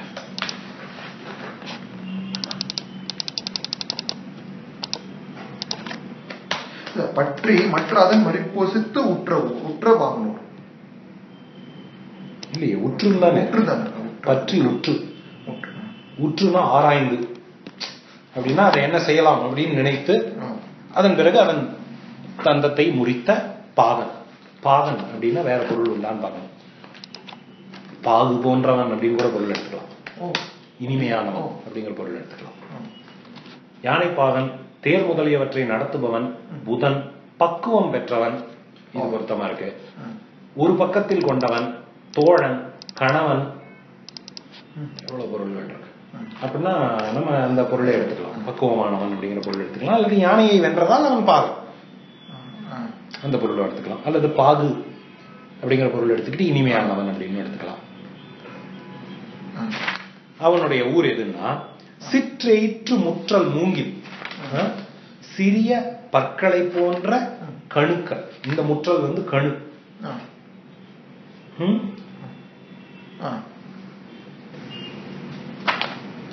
முற்றல் மூங்கில். அப்படிப்பட்ட மூங்கிலை மூன்று தண்டர். அந்த மூங்கிலிலே செய்யப்பட்ட முக்கோல். அதை ஏந்திய சந்நியாசிகள் ஒன்றினால் அற்ற பற்றர் அவர்கள் என்ன பண்ணுவார்கள் வேற எந்த இறைவன் மீது ஒன்றுதல் வைத்து விட்டதால் மற்ற எந்த பற்றையும் அவர்கள் அழித்து விட்டார்கள் அதான் அற்ற பற்றர் ம். ம்? அற்றபற்றல். சுற்றி வாழும் அந்த நீர் அரங்கமே அம் தன் நீர் அரங்கமே அவர்கள் சுற்றி வாழ்கிற அழகிய குளிர்ச்சியான நீரை உடைய திருவரங்கம் தான் அது இங்க சிற்றீற்று முற்றல் அதுக்கு பொருள் பார்க்கணும் முற்றதை நீங்க சொல்லுங்க டக்குனு அதான் அதை உறுதிப்படுத்திக்கலாம். ஏன்னா இவரு முற்றல் முற்றிய மூங்கில் இல்ல சிற்று எயிற்று தான் முற்றல் தான் முதிர்ச்சி. நீங்க சொல்றது கரெக்ட் எயிறு தான் அங்க வந்து கணு. பல்லு மாதிரி இருக்கு இல்லையா? மூங்கிலோட கணு. மூங்கிலோட கணு இந்த கரும்போட கணு எல்லாம் பார்க்கும்போது பல்லு மாதிரி இருக்கும் அது. கரும்புக்கு பல்லு முளைச்ச மாதிரி இருக்கும். அந்த எயிற்றுங்கிற வார்த்தை அப்படி பயன்படுத்திருக்காங்க? அதனால அப்ப எயிருக்கு வந்து கணுன்னு ஒரு பொருள் இருக்கான்னு எயிருக்கு கணுன்னு ஒரு பொருள் இருக்கு. அப்போ சிறிய கணுக்களை கொண்ட முற்றிய மூங்கிலாலையான மூன்று தண்டங்களை இப்ப இந்த ஒன்றினாலுக்கு பொருள் பார்க்கணும். மூன்று தண்டர் ஒன்றினால் அற்றப்பட்டர்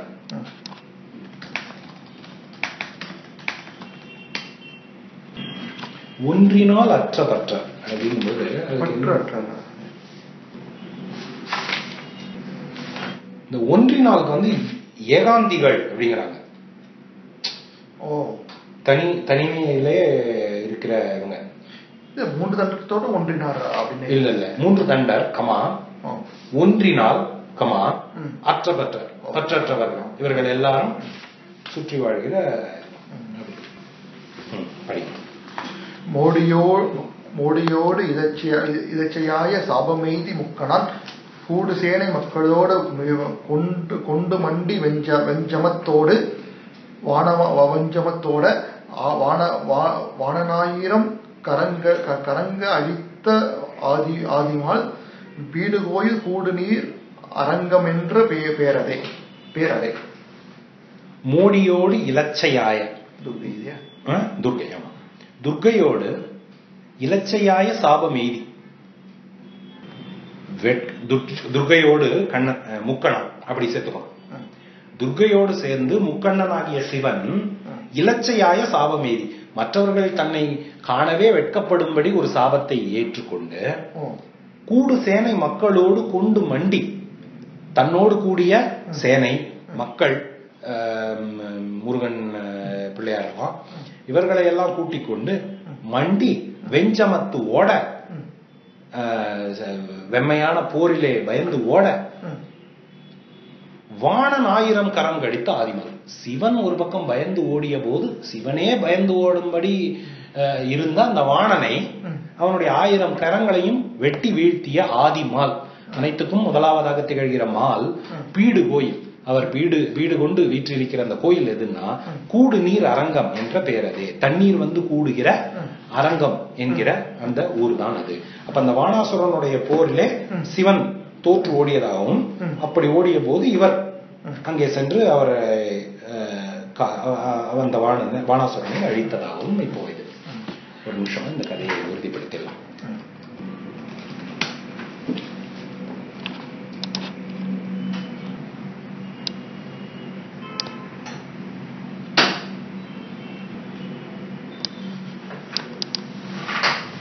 அதுதான் கதை நாம இப்ப சொன்னதுதான் இங்க கதையை தெளிவாக கொடுத்துருக்காங்க அந்த கதையை அடுத்தது படிக்கும் இலங்கை சரம் துறந்து இலங்கை கட்ட அடித்தவன் மதைத்தலை பிறந்து இழிந்து வந்து நுந்து சந்தனம் உதைத்தலை இருத்து எரிந்து இருத்து எரிந்த குங்கும குங்கும குழம்பினோடு அதைத்து ஒழுகும் ஒழுகு காவிரி அரங்கமேய வண்ண அரங்கமேய அண்ணதே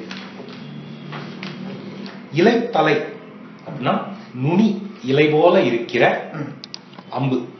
அந்த அம்பை துறந்து இலங்கை கட்டடித்தவன் இலங்கையின் ஒழுங்கை சிதைத்தவன் மலைத்தலை பிறந்து இழிந்து வந்து நுந்து சந்தானம் பாருங்க இந்த நுந்து மறுபடி வருது. நுந்துன்னு ஒரு சொல்லு இருக்கு போல இருக்குங்க. நீங்க பாத்துருமா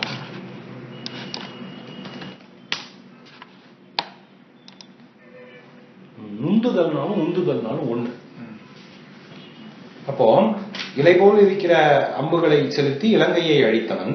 மலை மேலே பிறந்து இழிந்துன்னா இறங்கி. இறங்கி வந்து உந்துகிற சந்தனம். அப்படி சந்தனம் வர குலை தலைத்து இரித்து எழுந்த குங்கும குழம்பினோடு. அது வந்து குங்கும கொடியை. குலையாக குலைத்து அலைத்து. இருத்து எரிந்த குங்கும குழம்பினோடு. அந்த குங்கும கொடியை என்ன பண்ணுது? அதை பேர்த்து பிடிச்சு தள்ளிட்டு வருது. அதனால அந்த குங்கும கொடியிலிருந்து அது குங்குமம் அப்படி வெளில வந்து ஒரு பக்கம் சந்தனம் ஒரு பக்கம் குங்குமம்.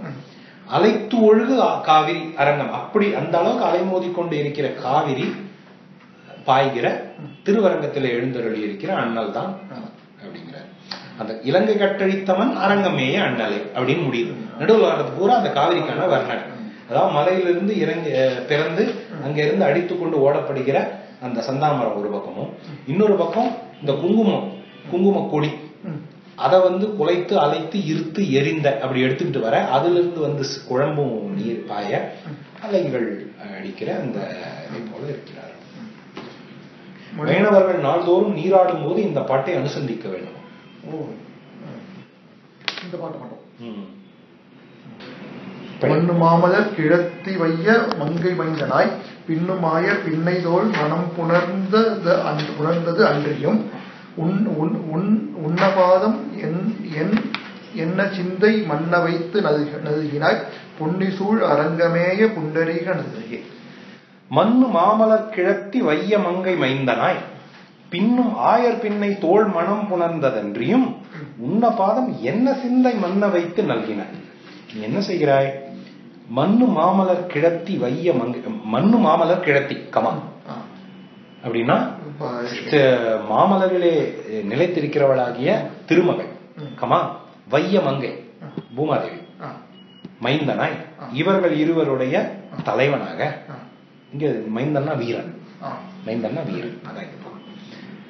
பின்னும் ஆயர் பெண்ணை தோள் மனம் புணர்ந்ததன்றி அதன் பிறகு ஆயர் குலத்திலே பிறந்த பெண்ணாகிய நப்பின்னை நீலாதேவி அவளை மணந்து கொண்டாய். உன்ன பாதம் உன்னுடைய பாதத்தை என்ன சிந்தை என்னுடைய சிந்தையிலே வைத்து நல்கினாய். எனக்கு அருள் புரிந்தாய். பொன்னிசூழ் அரங்கமேய புண்டரீக நல்லையே. காவிரியினாலே சூழப்பட்ட திருவரங்கத்தில் எழுந்தருளி இருக்கிற புண்டரீகன் நீ அல்லவா? நீ அவர்களையெல்லாம் மணந்து கொண்டாய். ஆனா அவர்களோடு ஒப்பிடும்போது நான் வந்து ரொம்ப தாழ்வானவன். என்னுடைய மனத்திலும் வந்து நீ தங்கியிருக்கிறாயே அப்படிங்கிற அந்த ஒரு வியப்பு இந்த பாட்டுல. இளங்க மன்ன மன்னனை தொலைந்து பைந்ததை நிதத்துக கலங்க அன்று சென்று கொன்று வென்றி கொண்ட வீரனே. இளங்கனூதர் வேதனாவர் நீதியான கேள்வியார் வதங்குல பத குடந்தை உள்கி உள் கிடந்தையுள் கிடந்த மாலும் அன்றையே. கிடந்தமானும் அல்லையே இங்க அல்லையேன்னு சொல்றது எல்லாமே அல்லவா? அப்படிங்கிற பொருள். இலங்கை மன்னன் ஐந்தோடு ஐந்து அப்படி பிடிக்கும். இலங்கை மன்னனாகிய ராவணனுடைய ஃபைவ் பிளஸ் ஃபைவ் டென் பத்து பசும் தலைகள். அப்படின்னா ஃப்ரெஷ்ஷான அந்த தலைகள். இன்னும் அவன் வயசாகி முதிர்ந்து போன போது அவனை வந்து கொல்லல. அவன் நல்லா அவன் தெம்போட இதுவா இருக்கும்போது அப்ப மு- முக்கோடி அவருக்கு. ஆமா. அப்படி ஐந்து அந்த பத்து பைந்தலைகளையும் நிலத்து உக நிலத்திலே உதிர்ந்து போக உதிர்ந்து விழும்படி கலங்க அன்று சென்று கொன்று வென்றி கொண்ட வீரன். கலங்கும்படி அன்றைக்கு இலங்கை அவன் அவன் கலங்கும்படி அன்றைக்கு இல- இலங்கைக்கு சென்று அவனை கொன்று வெற்றி கொண்ட வீரனே. விலங்கு நூலர். விலங்கு நூலர். அப்படின்னா இலங்கு நூலர் அது. விலங்குன்னா என்ன? விலங்குக்கு நமக்கு இருக்கிற பொருள் நமக்கு தெரியும். அனிமல் திகழ்கிற அப்படிங்கிற பொருள் இருக்கும்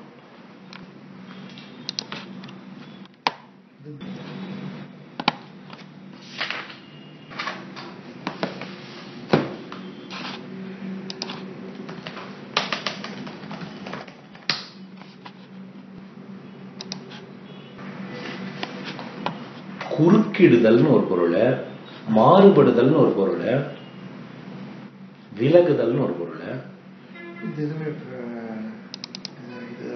இலங்குதல்னு ஒரு பொருள். அந்த இலங்குதல்ங்கிற பொருள் எடுத்துக்கணும். அல்லது விலங்கு நூலர் அப்படிங்கறத வந்து எதுகைக்காக விலங்கு நூலர்னு எழுதியிருக்காருன்னு. நினைச்சுக்கலாம். ஆக அஹ், அப்படி பூணூல் அணிந்தவர்கள் வேத நாவர் நாக்கிலே வேதம் சு- வேதத்தை சொல்கிறவர்கள் நீதியான கேள்வியார் எது முறை என்பதை கேட்டறிந்தவர்கள் வலங்கொள அவர்கள் வலம் வருமாறு குடந்தையுள் கிடந்த மாலும் அல்லையே. திருக்குடந்தையிலே கிடந்த திருக்கோலத்திலே இருக்கிறவனும் நீ அல்லவா?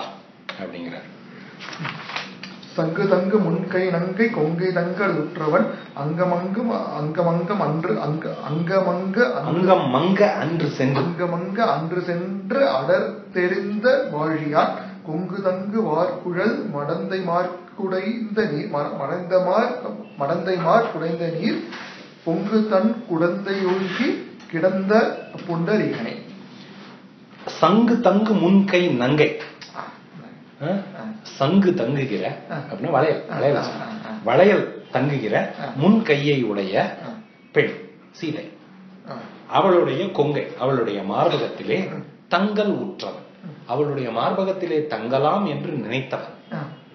அங்கம் மங்க அவனுடைய அங்கம் மங்கி போகும்படி. அன்று சென்று அடர்த்து எரிந்த ஆழி. அன்றைக்கு சென்று இலங்கைக்கு சென்று அவனை போரிலே வென்ற சக்கராயுதத்தை ஏந்தியவன். ஓகே தங்கு நீர். அதாவது சக்கராயுதத்தாலே வெல்லவில்லை. போரிலே வென்றவன் சக்கராயுதத்தை ஏந்தியவன். அப்படின்னு கொங்கு தங்கு வார்குழல் மடந்தை மார் கொங்குன்னா தேன். தேன் இல்ல கொங்குன்னா மனம் அப்படின்னு ஒரு பொருள் உண்டு. மனம் தங்குகிற வார்குழல் கூந்தலை உடைய மடந்தைமார் பெண்கள் புடைந்த நீர் அவர்கள் தண்ணீரிலே போய் குளிக்கிறார்கள். அந்த நீர் பொங்கு அந்த நீர் பொங்கி வருகிறது. அப்படிப்பட்ட தன் குடந்தை குளிர்ச்சியான திருக்குடந்தை கும்பகோணம். அங்கே கிடந்த புண்டரீகன் நீ அல்லவா? புண்டரீகனே அப்படின்னு கூப்பிடுறார் ஒரு குழந்தை யார குளிர்ச்சி அப்படின்னு சொன்னாக்கா அவ- அவர் வந்து அங்க காவிரி ஓடுதா? காவிரி ஓடுதா கொடுக்குறீங்களா தெரியல. எனக்கு அவ்வளவு நான் ஒரு ஒரு நாள் ரெண்டு நாள் போயிருக்கேங்க. அவ்வளோ இதுவா தெரியாது அந்த ஊருக்கு மரங்கெ- மரங்கெட நடந்த அடர்ந்து அடர்ந்து அட- அடர்த்து மத்த யானை மத்தகத்து உரம் உரங்கெட உரம் கெட புடைத்து ஓர் கொம்பு ஒசித்து கண் க- கொசி- ஒசித்து உகந்த. உகந்த உத்தமா துரங்கம் வாய் துரங்கம் வாய் பிளந்த பிளந்து மண் மண் அகந்த பாத வேதியர் வேதியர் குடந்- குடந்தை உள் கிடந்த மால் மண்ணையே மரம் கெட நடந்து அடர்த்து மத்த யானை மத்தகத்து உரம் கெட புதைத்து புடைத்து புடைத்துன்னு இருக்கா புடைத்து தான் கரெக்ட் புடைத்து. ஓர் கும்புசித்து ஓர் கொம்பு ஒசித்து உகந்த உத்தமம். அதாவது இரட்டை மருத மரங்கள் அழிந்து போகும்படி நடந்தவனே. நடந்த அடர்த்து அது அவற்றை வீழ்த்தியவனே. மத்த யானை மத்தகத்து மத்த யானை அப்படிங்கிறது வந்து மத யானை. மத யானையுடைய மத்தகம். கோலையாபீடத்துடைய மத்தகம் மத்தகம்ங்கிறது அதனுடைய முன் முன்பகுதி.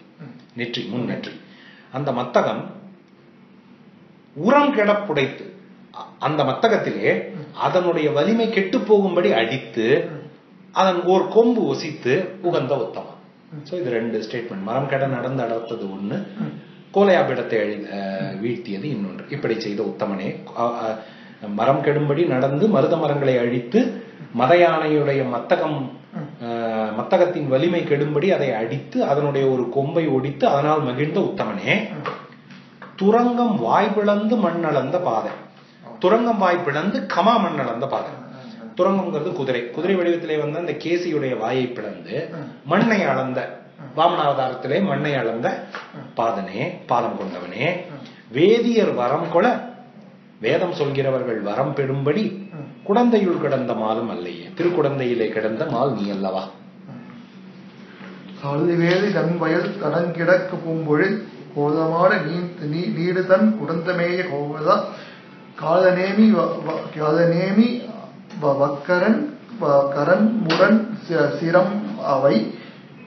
அஹ், காலனோடு கூடவில் குனித்தவிற்கை வீரனே. சாலி வேலி தன் வயல் தடம் கிடங்கு பூம்பொழில் கோலமாடு நீடு தன் குடந்தை மேய கோவலா. சாலி வேலி. சாலின்னா நெல்லு. சாலி சென்னல் பயிரையே வேலியாக கொண்ட பாருங்க. வேலி. வேலியே வந்து சென்னல். அப்படிப்பட்ட வேலியை கொண்ட குளிர்ச்சியான வயல்கள். வேலி அது அப்படிதானே? அதான். நெல் வேலியே வந்து மதிப்புள்ள பயிர். அந்த அளவுக்கு வளமான பூமி. நெல்ல வேலையா போடுறாங்க அப்படின்னா உள்ள என்ன விளையும்னு பார்த்துக்கலாம் நல்லா வளம் வளம் நிறைந்த அப்படிப்பட்ட தன்மையான வயல். அப்படியே எடுத்துக்கலாம். இல்ல ஊரை சுத்தி வயல். அந்த ஊர்ல. ஊரை சுத்தி நெல் வயல். நம்ம ஊருக்குள்ள போகணும்னா நெல் வயல் தான் வேலி. அதை தாண்டி தான் உள்ள போகணும் அப்படிங்கிற அந்த அப்படிப்பட்ட குளிர்ச்சியான வயல்கள் தடம் கிடங்கு. தடம் கிடங்கு. தடம்னா பெரிய.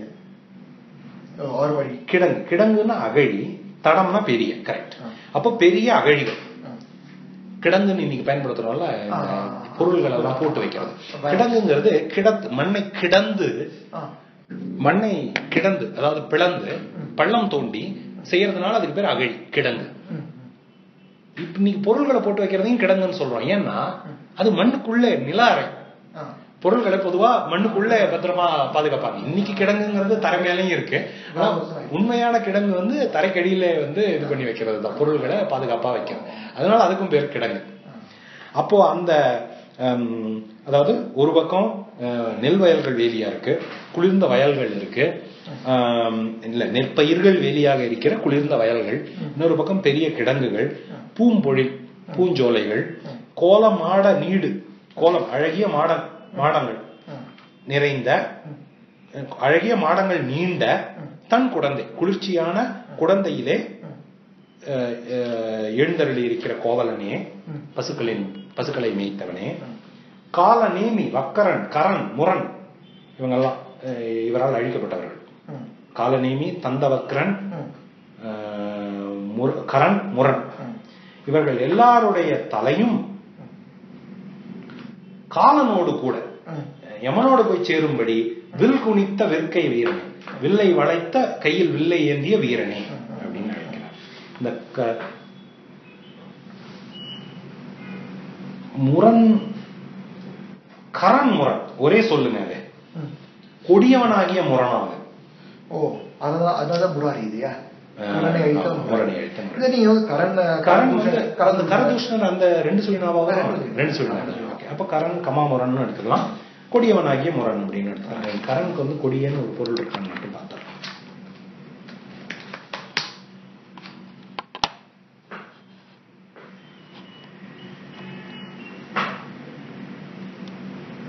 கெடுங்கரன்னு சொல்லுவாங்களாங்க.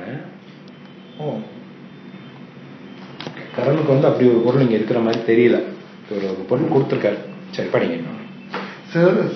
செழும்பொழும் பெரும் பனி பொழிந்திட உயர்ந்தவை விழுந்து உலர்ந்து எழுந்து விண்புக விண்புடைக்கும் வேங்கடத்துள் நின்று எழுந்திருந்து தேன் தேன் பொரு தேன் பொருந்த- பூம்பொழி தழைக்கொழு செழுந்து அடங் அடங்கு செழுந்து அடங் கு- குடந்தையுள் கிடந்த மாதமல்லையே ம்.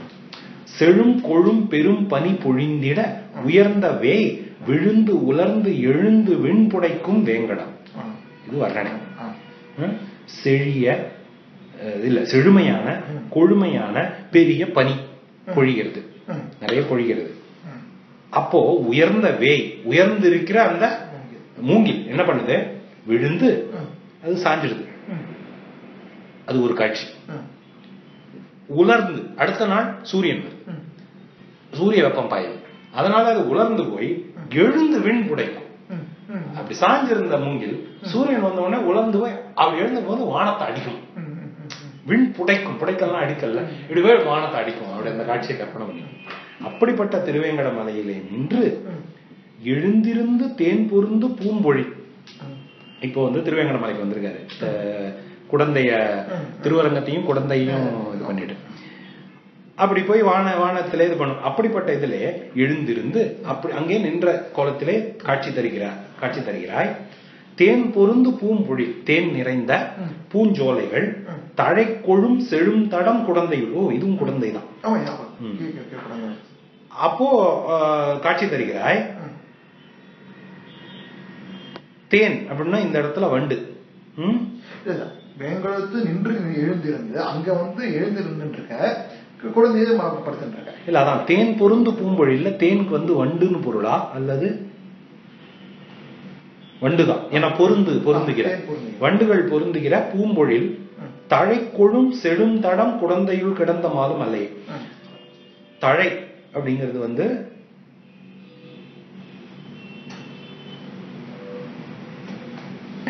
பார்த்துடலாம் அவ்வளோ கரெக்டாக வர மாட்டேங்குது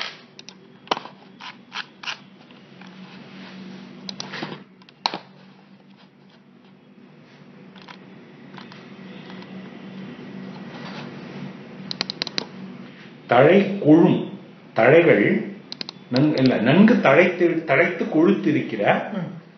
செழும் தடம். செழுமையான நீர்நிலைகளை உடைய குடந்தையுள் கிடந்த மாலும் நீதானே அப்படிங்கிற. வேங்கடத்துள் நின்றவனும் இந்த மேல் எழுந்திருந்துங்கிறது திருமாலுக்கு கிடையாது. நின்று எழுந்திருந்து. இல்ல விண்புடைக்கும் வேங்கடத்துள் நின்று. அதோட ஒரு ஸ்டேட்மெண்ட் முடிஞ்சது. எழுந்து இருந்து வண்டுகள். வண்டுகள் எப்படி? மேல போகுது கீழே வருது. மேல போகுது கீழே வருது. இப்படி வண்டுகள் போய் பொருந்துகிற.